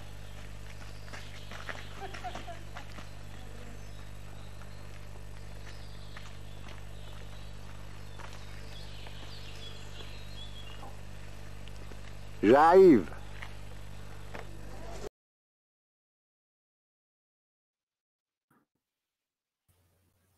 Eccoci. Aspetta che... Ok, perfetto. Ciao Aurora, Non- eh, hai il microfono mutato. Eccomi. Sì, mi sentite? Perfetto, sì. Complimenti Aurora. Grazie. Per questo Grazie tuo mille. film. Allora, io ho amato molto questo lavoro, anche perché questa identificazione del corpo con la geografia è, è proprio un topos che mi è sempre piaciuto, che ha radici molto lontane. Penso, ecco, quando penso a questo mi viene in mente veramente il corpo medievale come raccontato dalle Goff, quindi tutta una nuova scuola di pensiero del Medioevo che porta ad analogie tra cosmo e corpo o anche a metafore politiche, sai, lo Stato e il corpo, il comando come testa, eccetera. Quindi tutto questo mi è piaciuto moltissimo e pensavo anche al corpo utopia perché mh, anche a quello arriviamo, al corpo utopia eh, in cui tutto è possibile, corpo come principale attore delle utopie come descritto da Foucault, quindi vedi mi hai attivato tanti di quei, di quei pensieri, sono arrivata, sono approdata a tipo Corpo Celeste della Ortese, che è un testo bellissimo, quindi proprio uno sviluppo di, di pensieri mi è arrivato a partire da un frammento, quindi mi è piaciuto tantissimo. Volevo chiederti se tu avessi presente questa letteratura che c'è dietro alla geografia corporea, oppure se la suggestione ti sia arrivata così istintivamente guardando questi frammenti che avevi a disposizione, insomma, che cosa c'è dietro? Allora, onestamente, di tutti i testi di cui hai parlato adesso, conosco un pochino così, ma non ho mai letto niente, sinceramente. Quindi in realtà mm, no, eh, non, non so nemmeno bene ricordarmi come mi è venuta in mente questa cosa, perché di solito io quando creo qualcosa di nuovo guardo un sacco di cose, mi, mi faccio collegamenti, cerco di collegare delle cose che magari non c'entrano oppure hanno dei punti in comune e allora sono riuscita a abbinare queste cose, in più sono filmati che ho guardato e riguardato perché sono, cioè, mi stanno molto a cuore questi vecchi filmini che ho in casa perché sono molto nostalgica, quindi in realtà passo molto tempo a guardarli e quindi magari mi si è acceso qualcosa, ho detto sarebbe E poi creato una nostalgia che non è una nostalgia familiare di tempi perduti, ma di mondi perduti e di nuovi mondi, di esplorazioni. Quindi è arrivato proprio un altro sentimento rispetto a quello che di solito emerge dal, dal film di famiglia. Sì, esatto. Mm, Infatti questo progetto penso che sia penso, il mio migliore, uno dei migliori comunque, perché sono riuscita a utilizzare magari del materiale che proviene da un certo punto, però per arrivare a una cosa lontanissima, quindi lontano, un futuro indecifrabile, un un futuro che non sappiamo, quindi anche contenta di... Grazie. Sì, sì, sì. No, è molto bello che ti sia arrivato proprio istintivamente, ancora meglio, ecco, ancora meglio, perché l'artista è bello che sia mosso dall'istinto, quindi mi fa piacere che sia così. Ecco, Auro- Aurora, mi riaggancio alla domanda di Alessia perché anch'io ti volevo chiedere appunto qual è il, il tuo rapporto eh, nei confronti dei, dei materiali che hai utilizzato perché il tuo film appare in qualche modo distanziato, no? C'è una distanza creata da questa narrazione per certi versi fantascientifica che tu, che tu dai a- a- al tuo film Ehm, e quindi volevo capire, insomma, mh, qual è eh, la reale motivazione, insomma, che ti porta eh, a questa istin- istintualità eh, nel creare attraverso questi materiali preesistenti. Allora, il video della voce, per esempio, il, diciamo l'audio, fa parte di- dei video che io non ho, cioè sono esperienze che io non ho vissuto, quindi forse per quello eh, mi sono comportata in questo modo, perché quando mio nonno ha registrato quello io non ero ancora nata, però l'ho messo in contrapposizione invece all'ecografia di me nel pancione, quindi in realtà io non c'ero, però in un futuro poi ci saresti stata. Quindi forse per quello che in un certo senso è un po' distaccata, perché io quelle esperienze in realtà non le ho vissute, quindi sì, l'ho utilizzato come materiale che mi sta a cuore perché comunque era mio nonno, però eh, in un certo senso poi sei andata a creare questa cosa. Benissimo. E pensi di, cioè, hai, hai già fatto, tu hai detto questo è uno dei tuoi migliori film, quindi ne hai già fatti altri e ne hai magari altri in progetto? Ma sicuramente sì, e mi piacerebbe continuare a lavorare con questi filmini perché mi piace veramente tanto e per esempio preferisco montare e dedicarmi alla parte audio piuttosto che riprendere, perché mi piace prendere delle cose e ritrasformarle per farle diventare un'altra storia, come ho fatto qui. Quindi sicuramente andrò avanti così. Benissimo.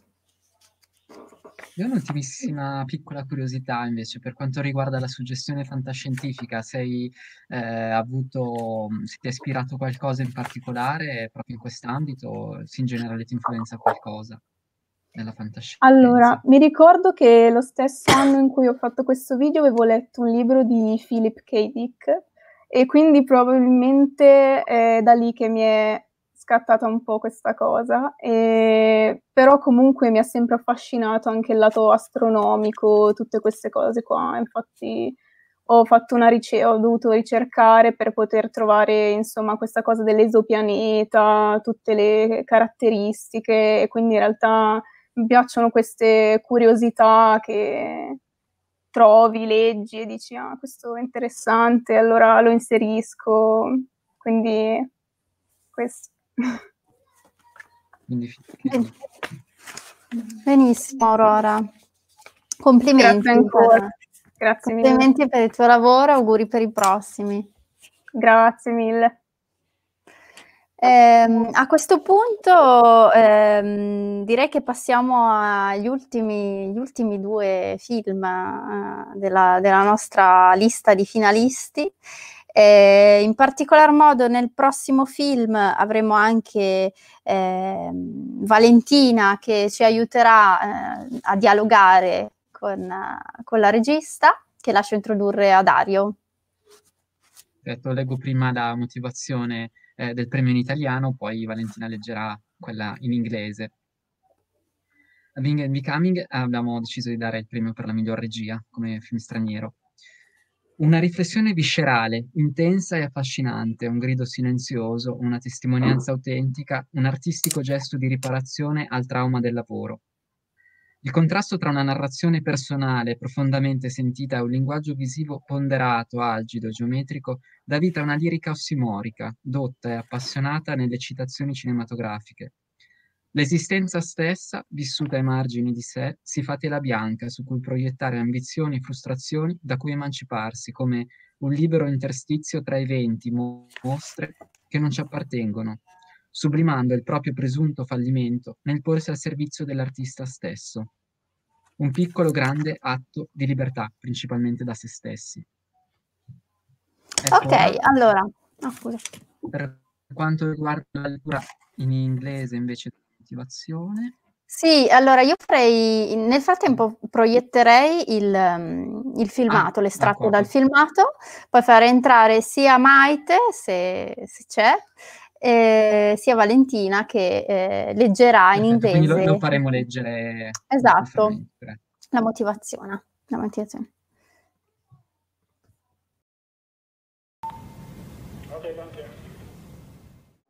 Treballo com a vigilant en aquest museu.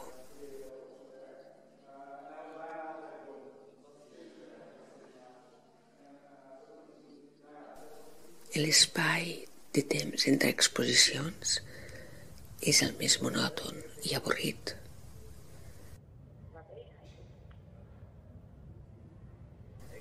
He d'aconseguir suportar tres setmanes vigilant l'espai buit. Ara estic sola. Només hi ha les parets i els meus pensaments. Conec molt bé cada espai, cada detall, racó, llum.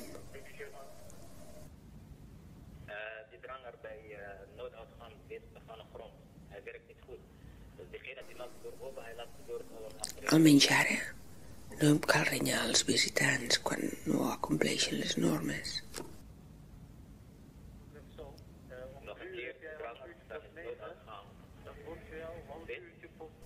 No m'agrada gens quan els visitants fan fotos en flash o toquen les obres d'art.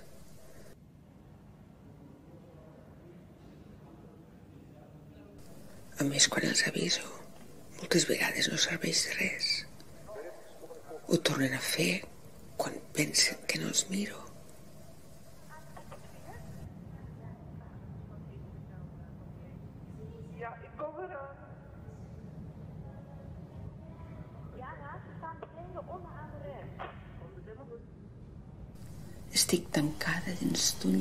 Uniforme que em representa.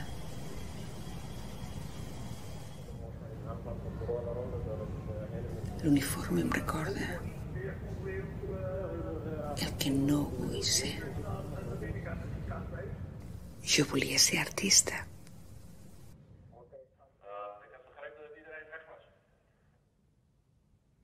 Per sort, els visitants no noten res.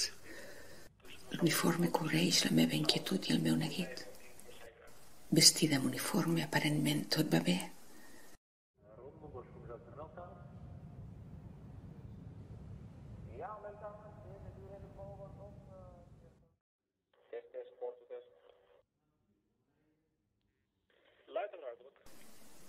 De fet, jo hauria volgut ésser com la Bàrbara Stanwyck.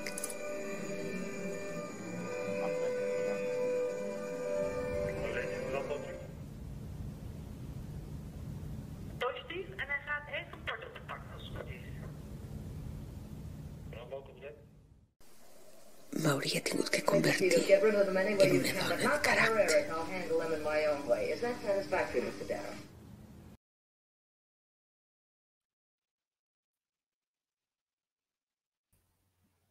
Ok, allora mh, purtroppo prendo ora che non abbiamo tra noi Maite, che forse non si è potuta collegare, eh, però comunque potrà rivedere questa registrazione in futuro, quindi lasciamo leggere la traduzione a questa eh, premiazione, insomma, alle motivazioni di questa premiazione a Valentina, che ringraziamo per la sua disponibilità.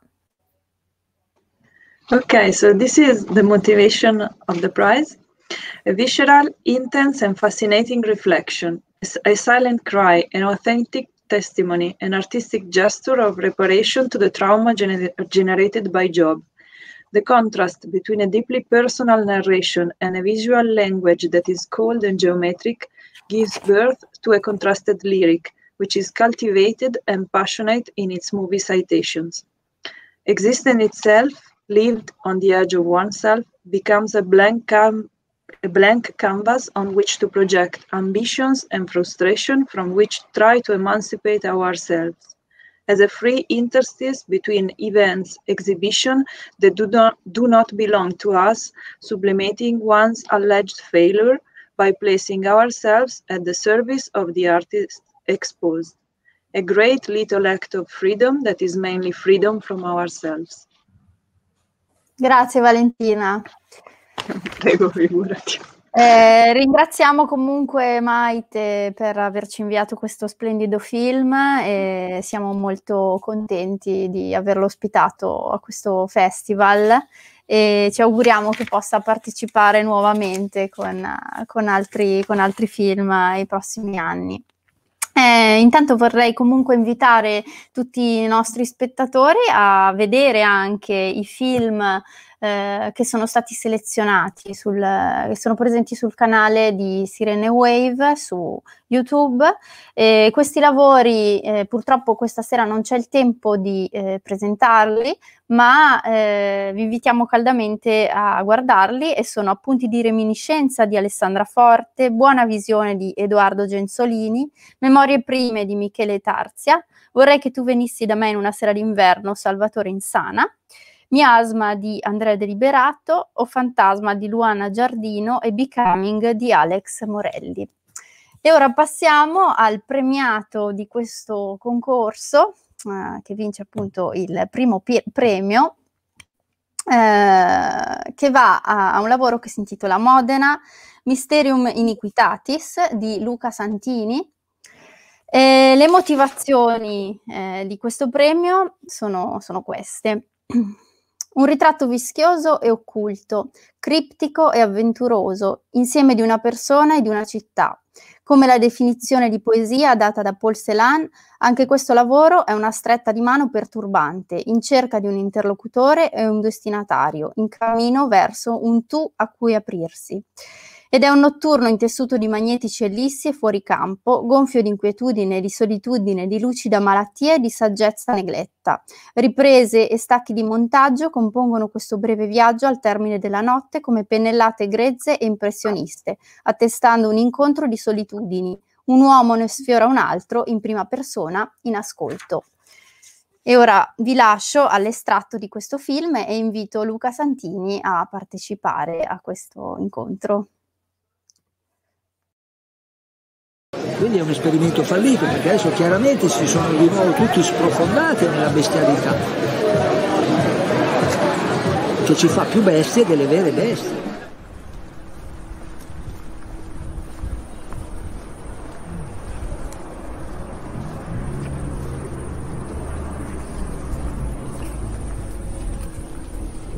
Che non avevo mica saputo nulla in questa vita.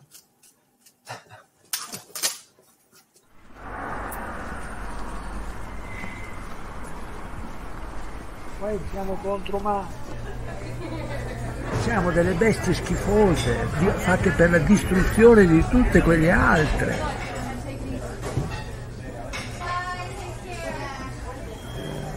Le cose astrologiche valgono, ma per gli uomini che hanno una certa, chiamiamola, predisposizione, sensibilità, quelli che io chiamo gli uomini veri, perché gli altri medicine perché mi avevano cercato di ammazzarmi quando avevo 35 anni, a metà della vita. Ho rischiato veramente. Adesso però sono alla fine e non vedo l'ora di andarmene. Qua, ormai è fatto.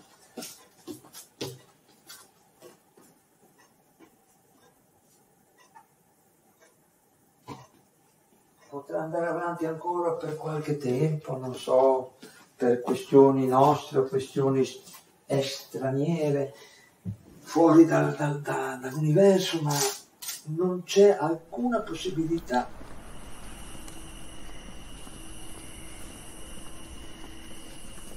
Che nessuno, nessuno, nessuno abbia anche solo sbagliato il numero. Di solito c'è sempre qualche suono, qualche numero.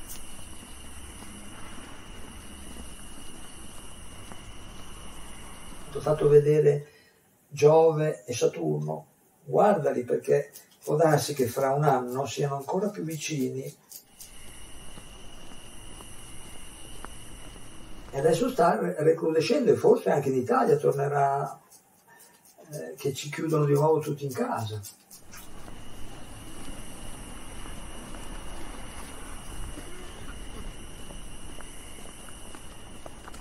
E quello è il crimine per, per eccellenza, la riproduzione di un essere sensibile in questo inferno.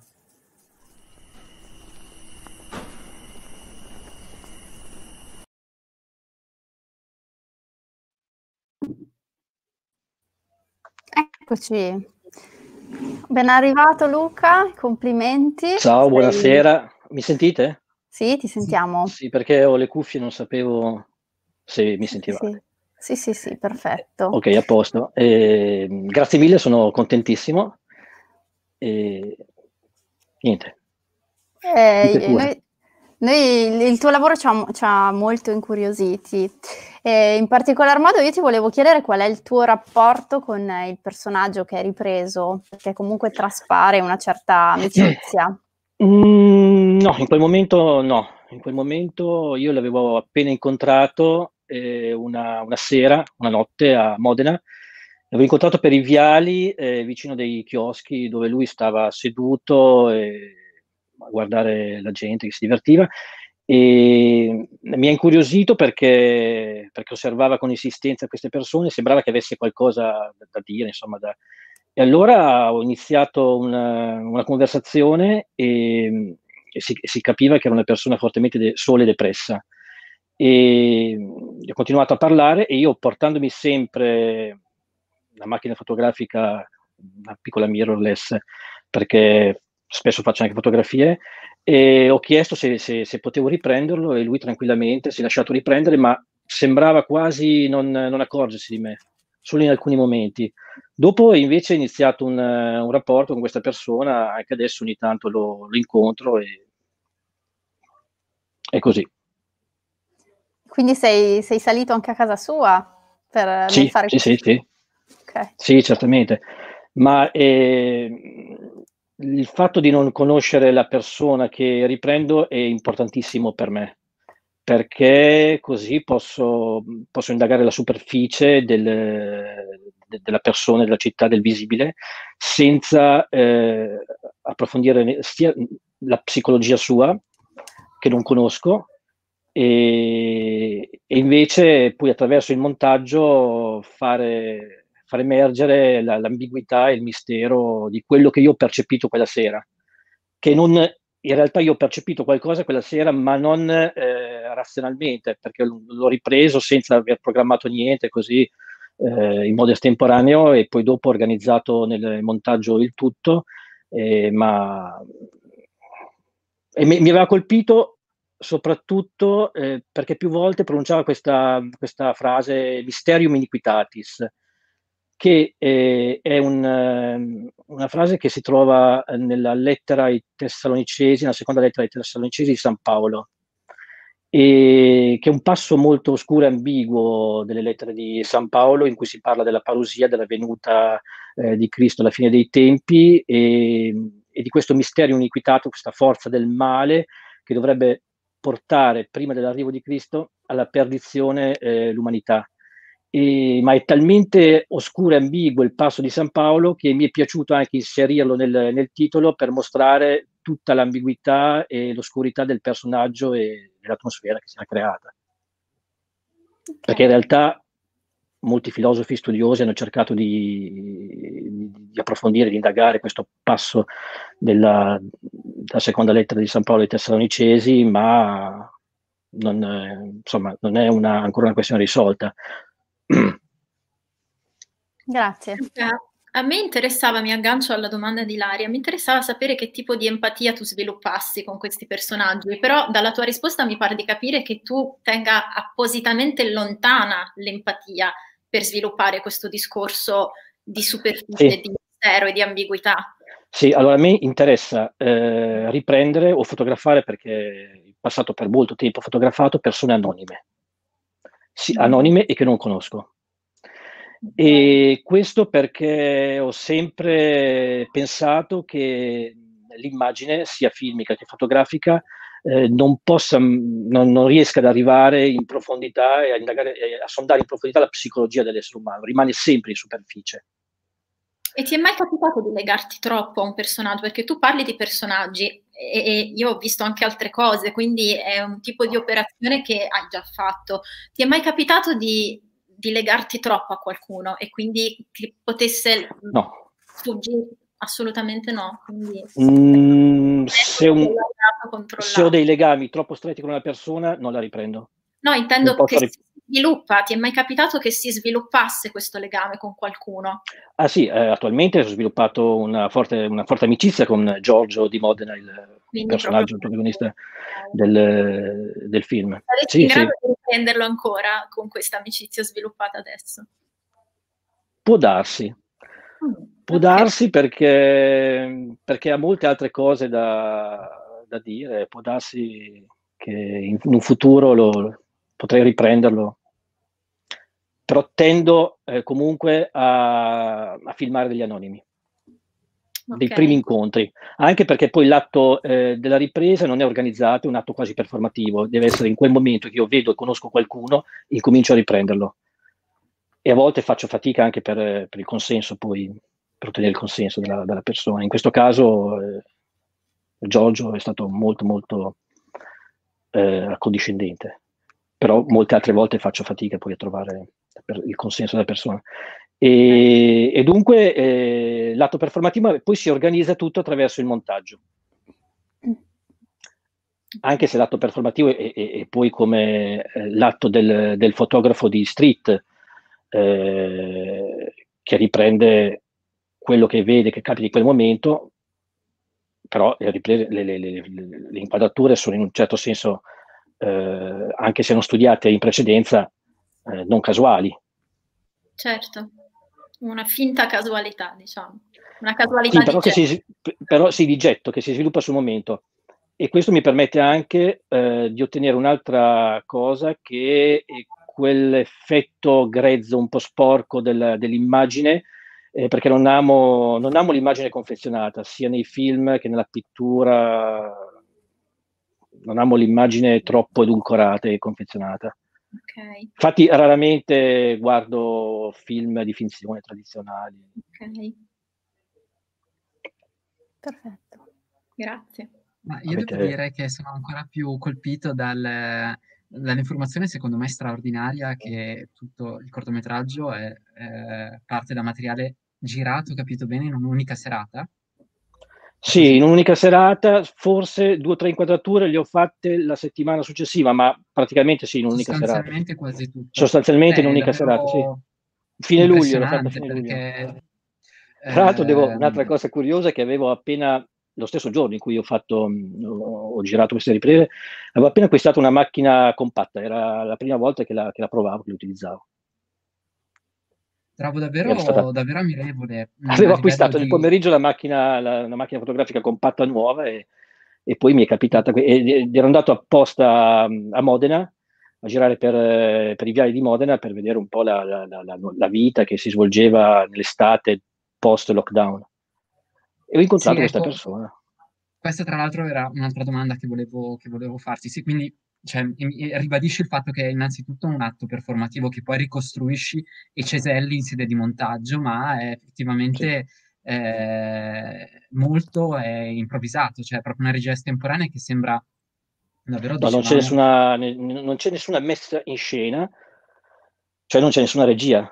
La regia Sì. è la, la messa, la- la- messa in scena, la mise en scène, il regista in francese le metteur en scène. E, e qui non c'è nessuna messa in scena, è, è più una adattare il processo del fotografo di street o del documentarista fotografico che riprende in quel momento, adattarlo eh, a un- a un breve film. Dopo c'è una costruzione in fase di montaggio, ma, ma la messa in scena precedente non esiste. Sì, sì, sì, no, ma infatti con regia estemporanea cercavo in modo meno preciso di alludere proprio, proprio a questo. E mh, di quest'atto performativo a me, mh, eh, cesellato così in film, eh, mi hanno colpito in realtà molte cose diverse. Eh, avrei mh, parecchie domande, parecchie curiosità. Eh, innanzitutto, per tornare sul rapporto col personaggio, trovo eh, davvero interessante, eh, evidente questa cosa che hai voluto evidentemente mantenere il mistero attorno a lui, addirittura al punto da tagliare, eh, da mantenere solo dei frammenti dei suoi discorsi, Mhm. eh, non so quanto poi il... mm, e- No, esatto. che, che rende attraente anche fuori campo, anche l'ellissi, anche ciò che è tagliato, ad esempio, Esatto, nei momenti ma era l'unica che cosa. nel frammento Era che l'unica cosa che visto. potevo fare. Sì. Era l'unica cosa che potevo fare, quello di mantenere dei frammenti e costruire poi un montaggio su Elissi, perché io quella serata lì ho ascoltato parecchie sue cose, ma nel momento in cui riprendevo non potevo capire tutti i suoi discorsi e, e- e avere una, una visione chiara del contenuto.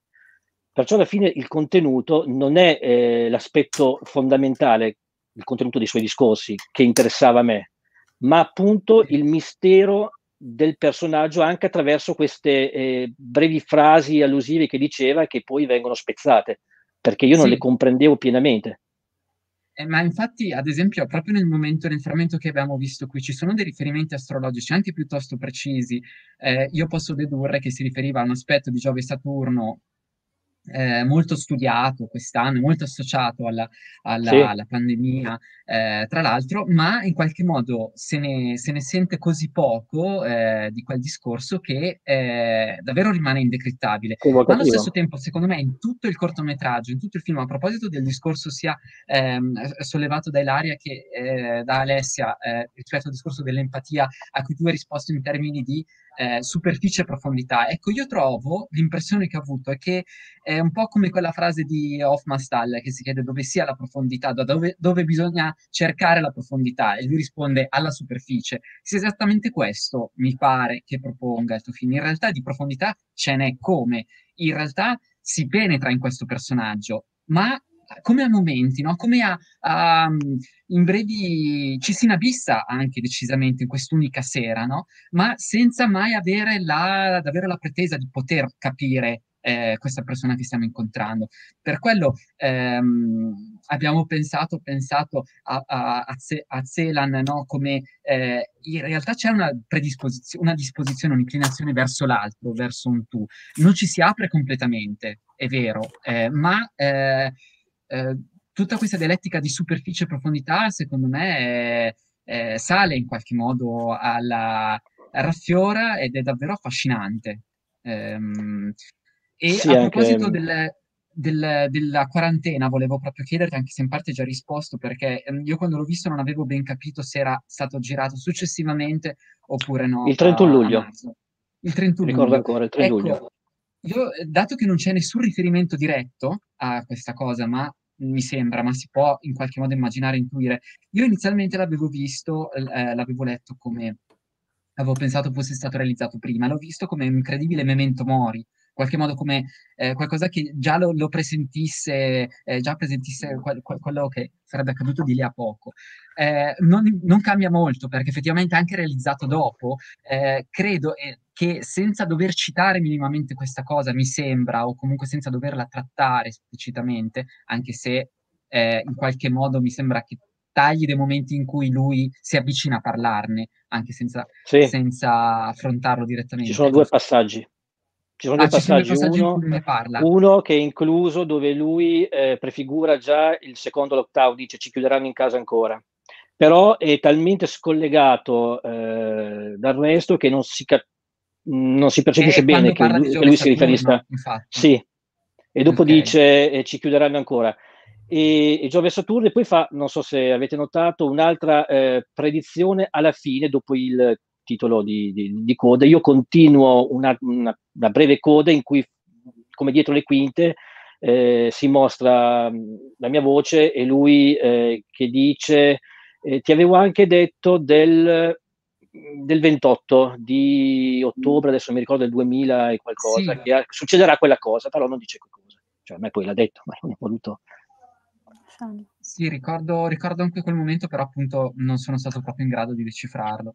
E, mh, nulla, volevo limitarmi ad aggiungere queste riflessioni e a... E poi sì, c'è anche un- un- l'ambiguità del personaggio e la sua solitudine, e poi dopo affonda nella, eh, nell'ultima parte, se avete notato, nella misoginia. Una misoginia, insomma, nel, in, in una piccola misoginia in questo attacco che fa al, al mondo femminile, e che mostra tutta la contraddizione del personaggio. Mm. E tutto sommato io nel tuo gesto di, nel, nel tuo avvicinarsi a lui pur eh, mantenendo saldo il tuo sguardo, cesellando come vuoi tu, tagliando qualche discorso per lasciare al meglio, diciamo, una forma di mistero eh, a- attorno a lui, percepisco anche in, in questa di- tua disposizione nei suoi confronti recitando San Paolo per altri versi da una lettera ai Romani, una forma di speranza contro ogni speranza, che è quella stessa che in qualche modo lui sembra proporre, no? Cioè, è- è- c'è fortissima l'idea di solitudine, di disperazione, anche rispetto a questo eh, parallelo con la situazione collettiva, eh, più o meno intuita, eh, accennata a questo punto del- della quarantena.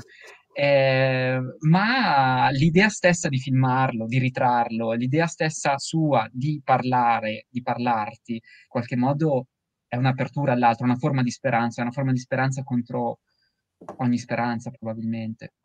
Sì, è una forma di speranza, appunto, il, il rapporto che quella, quella sera si è eh, stabilito tra, tra me e, la- e Giorgio, eh, nonostante la sua eviden- il suo evidente disprezzo per l'umanità ehm, che aveva maturato probabilmente in tutti questi anni e che questa forma forse depressiva. Nonostante questo, si è, sì, c'è stata questa apertura nei, nei miei confronti e questa volontà di, di, di parlare, di mostrare. Anche se in quel momento lì lui non, è, non era quasi consapevole a un, certo, a un, certo, punto della mia presenza, era come in trans, parlava direttamente, ogni tanto sì, mi rivolgeva la parola, altre volte parlava ehm, con sguardo perso nel vuoto, io lo riprendevo di fianco e lui non si accorgeva nemmeno di me, era come se parlasse a se stesso. Grazie anche per queste Eh. informazioni. Luca, ti vediamo su uno sfondo attorniato da dipinti. Eh, mi chiedevo eh, se, se- se- se ti occupi di regia nella vita o, o di qualcos'altro. Mm, no, mi occupo di, in realtà mi occupo di pittura antica, una formazione storica artistica e mi occupo di pittura del Seicento ne- nella vita. E ho- per molti anni ho fotografato come amatore, però non ho mai, non ho mai mostrato niente, non ho mai eh, presentato niente, come semplice amatore. E ho iniziato a filmare, si può dire, anche se avevo fatto altre cose in passato, ma si può dire quest'anno dopo il, il lockdown. Ah, ok, quindi è una cosa fresca quella della, re- della regia. del Sì, è una cosa mm, fresca. Diciamo che ho recuperato una passione che avevo, che avevo avuto anche in passato, forse una decina di anni fa, ma che... Perché poi eh, tendo ad essere abbastanza riservato e non eh, faccio fatica a mostrare le mie cose. Perché penso che comunque l'immagine, qualsiasi immagine, anche quella filmata, sia, sia qualcosa di terribile, un, un filo elettrico scoperto possa fare molto male. E allora, almeno poi come la, la- l'affronto io l'immagine, filmando altre persone che non sono consapevoli di, di essere filmate, magari. Allora questo fatto mi, mi- mi- mi induce a, a- a frenare alla pubblicazione di magari di cose o fare in realtà, infatti, il film un, eh, fa, par- fa sempre parte di un ciclo, Environment Portraits, eh, dove indago il, il rapporto tra una città e un personaggio che incontro sempre casualmente. E, mh, attualmente ne ho fatti altri due e uno di questi è abbastanza particolare perché eh, riguarda il rapporto tra Milano e una, e una ragazza che naturalmente non conosco perché era una Instagrammer che faceva dirette Instagram durante il, loca- il lockdown. E io riprendo questa ragazza che fa le dirette completamente anonima durante il lockdown e la metto in rapporto con la città di Milano. Solo che naturalmente questo film eh, rimarrà nell'anonimato, e nel- appunto perché non potrò mai avere l'autorizzazione di questa persona. È molto interessante, eh, hai esordito molto bene con questo premio. L'ho detto, eh, sì, infatti vi ringrazio, sono molto contento. E avete altre domande? Ma io penso una che... curiosità, anche se siamo fuori tempo massimo, visto semplicemente, eh, diceva prima mh, che non ti interessa, ehm, non ti interessano Luca film di finzione. Cosa ti piace, ti interessa guardare del, del cinema? Allora, io in, in passato sono stato anch'io cinefilo, ho guardato molti film eh, da quando ero adolescente, giovane, e poi ho maturato eh, l'idea che il- la maggior parte del cinema di finzione sia, mm, sia tributario troppo della, attraverso la sceneggiatura, la messa in scena, tributario troppo della letteratura, del teatro, eccetera. E solo pochissimi autori di finzione del passato mi interessano tuttora. Quali? E, mm, mm, Antonioni, mm, Godard, mm, Rossellini, ma che sono al limite. Luca, io Hai e Dario presente? facevamo... No, Stai per dirlo, dillo, dillo, dillo su. No, facevamo un di moralità dell'immagine che ci portava a ragionare sul cinema di Ulrich Seidel, che è un regista amato, odiato, perché ha proprio questo sguardo, mm, non lo so, talmente mm, distaccato su quello che mostra, che sono temi forti, quali safari per, per uccisione di animali, turismo sessuale, insomma m- una serie di temi che lui guarda con un tale distacco, una tale distanza che impone un discorso di moralità dell'immagine. E io proprio con Dario parlavo relativamente al tuo corto, insomma parlavamo di, di Seidel e dicevo ecco io ci vedo qualcosa mh, che mi crea quella difficoltà lì, una difficoltà per cui mi chiedo quanto... Mh, quanto ci sia, vedi il discorso che facevi tu, quando dicevi mi daranno l'autorizzazione, voglio davvero pubblicare queste immagini, saranno troppo personali, ecco un discorso proprio morale che a volte uno si chiede anche se sia legittimo in campo artistico, perché sarebbe un freno, significherebbe porre un freno al, alla libertà espressiva dell'immagine, eppure sono discorsi che non si possono evitare. Dario, volevi era questo che no, volevi. No, no, eh, io ero curioso di sapere altri, eh, altri nomi, ma hai fatto benissimo a dirlo. Sì, sì, sì, sono Ok. d'accordo con No, poi eh, mm, Chiarostami, tra, tra le- Ah. gli ultimi registi di finzione di Chiarostami, eh, ma Però poi anche sì, ci sono ecco. altri registi, sì, ehm, non so, anche, anche Io- Bresson. Io, io capisco e condivido la, eh, la riflessione di, di Alessia, no- non la condivido totalmente perché trovo che nel tuo, ci- nel, nel tuo film eh, ci sia un rapporto più fisico e viscerale rispetto a quello di, di Seidel. Seco- Seidel secondo me è proprio glaciale, eh, ehm, particolarmente controllato anche a livello di, di- di ma- macchina da presa. Mi ha colpito, secondo me invece in questo c'è un- un'estrema io continuo a sentire, al, di là, al netto del distacco che tu stesso ehm, ehm, dichiari, sento una grande vicinanza, an- anche vischiosa, anche proprio un po' sporca, no? In qualche modo. Eh, Sì, è vischiosa sporca e mi aiuta in questo il, il fatto di, di riprendere senza la- una messa in scena e perciò senza, senza delle inquadrature pienamente controllate, perciò leggermente sporche, al limite. Certo. Eh, ma appunto per tornare a Seidel, fuori per caso hai fuoco. visto qualcosa, qualche film suo? Posso chiederti cosa ne pensi? Potrebbe essere un incontro Mm, interessante, in effetti, vero Però Alessia? appunto, come dice Dario, quella è un'immagine molto confezionata e quindi poi emerge un cinismo anche ambiguo, il posizionamento suo come regista Mm. diventa poi ambiguo perché l'immagine è proprio sottoposta a un estremo confezione e invece nel tuo caso c'è proprio l'opposto, lasciar fluire e respingere l'immagine troppo ricercata, quindi da questo punto di vista è assolutamente opposto. Però Sì, vale la effetti pena il confronto, credo. lo, lo guarderò, non lo conoscevo. Ok. Bene. E Bene, avete qualche Luca, ci, ci complimentiamo di nuovo con te, ti ringraziamo per aver partecipato a questo festival. Vi Eh, ringrazio.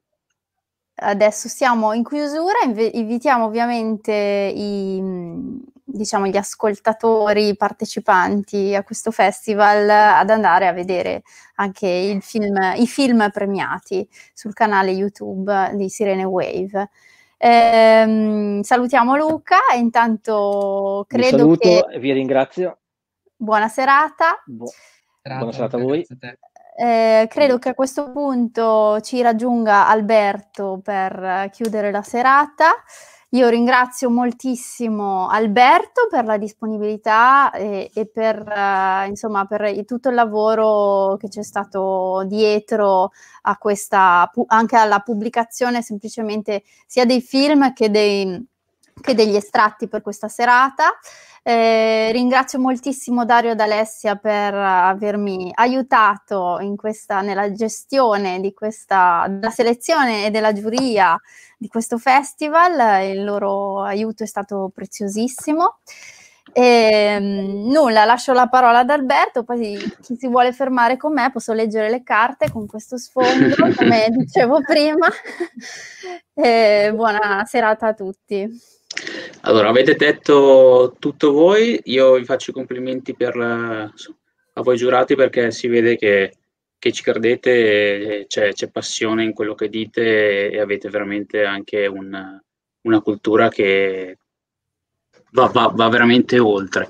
Ehm, ringrazio tutti gli autori che hanno partecipato al concorso Eh, faccio i complimenti a, a, a Luca per, per, il, per, aver vinto Sirene Wave 2 2020.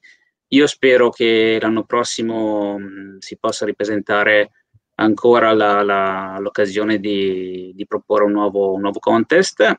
Se eh, poi i giurati, i, i, presenti giurati vorranno essere ancora della, della, della partita, ne, ne, saremo felici. E, ehm, Sirene Wave continua anche nella prossima settimana, perché ci saranno altri incontri. Ci sarà eh, in pratica giovedì 26 novembre la fotografia e le alterazioni della percezione visiva con eh, Monica Mazzolini. Eh, venerdì 27 novembre, sempre alle 21, eh, un incontro con eh, la DIAF, che è il Dipartimento di Visivi Fotografici, con eh, il presidente Roberto Puato e Fabrizio Luzzo, eh, che ci parleranno della, della, praticamente di quello che sarà la, la, la, la DIAF nei, nei, prossimi anni con l'apertura ai corti cinematografici, quindi questo è anche una novità importante. Sabato 28 novembre avremo eh, Hunters Analogici alle 15 che si parlerà di fotografia eh, analogica nella forma più eh, eh concreta possibile eh, alle 16.30 introduzione della Vinci Resolve con Fabrizio Luzzo che abbiamo visto sabato, eh, ieri, giusto? E alle 18 invece ci sarà un incontro con eh, Roberta Ferrari, Gianluca Colonnese e Fabio Ranfi che eh, ci mh, racconteranno, ci introdurranno nella, eh, questo racconto di eh, reportage fotografico e documentario video. Ci sarà una questi due personaggi che sono Roberto Ferrari che è una videomaker, regista e documentarista e Gianluca Colonnese che è un reportagista fotografico che parleranno del loro rapporto con, con il racconto, ecco, con mezzi diversi. Eh, domenica 29 novembre invece ci sarà mh, la lettura dei portfoli che eh, in, in, tempi normali si svolge, si svolge vis-à-vis, in questo caso utilizzeremo delle piattaforme anche qua online eh, in modo che i lettori possano eh, vedere direttamente, parlare, vedere direttamente le foto eh, su un tavolo virtuale, parlare con, eh, con gli autori del, dei lavori. E alle 15 ci sarà il, la premiazione del, del Gioberto d'Argento che per gli audiovisivi eh, fotografici del circuito del, della DIAF e poi dice no, è chiusura del festival e finalmente andremo a, riposarci. Eh, niente, io ringrazio ancora tutti i presenti per la, per la, loro disponibilità e per la loro professionalità e niente. Grazie mi, a voi per l'ospitalità. Mi auguro di vedervi anche il prossimo anno e auguro anche a, eh, mi auguro che ci siano altre, altre occasioni per, per parlare di, di, di cortometraggi e, e di cinema di prossimità. Insomma. Grazie a tutti. Grazie. Buona Grazie. serata. Buona serata a tutti. Ciao.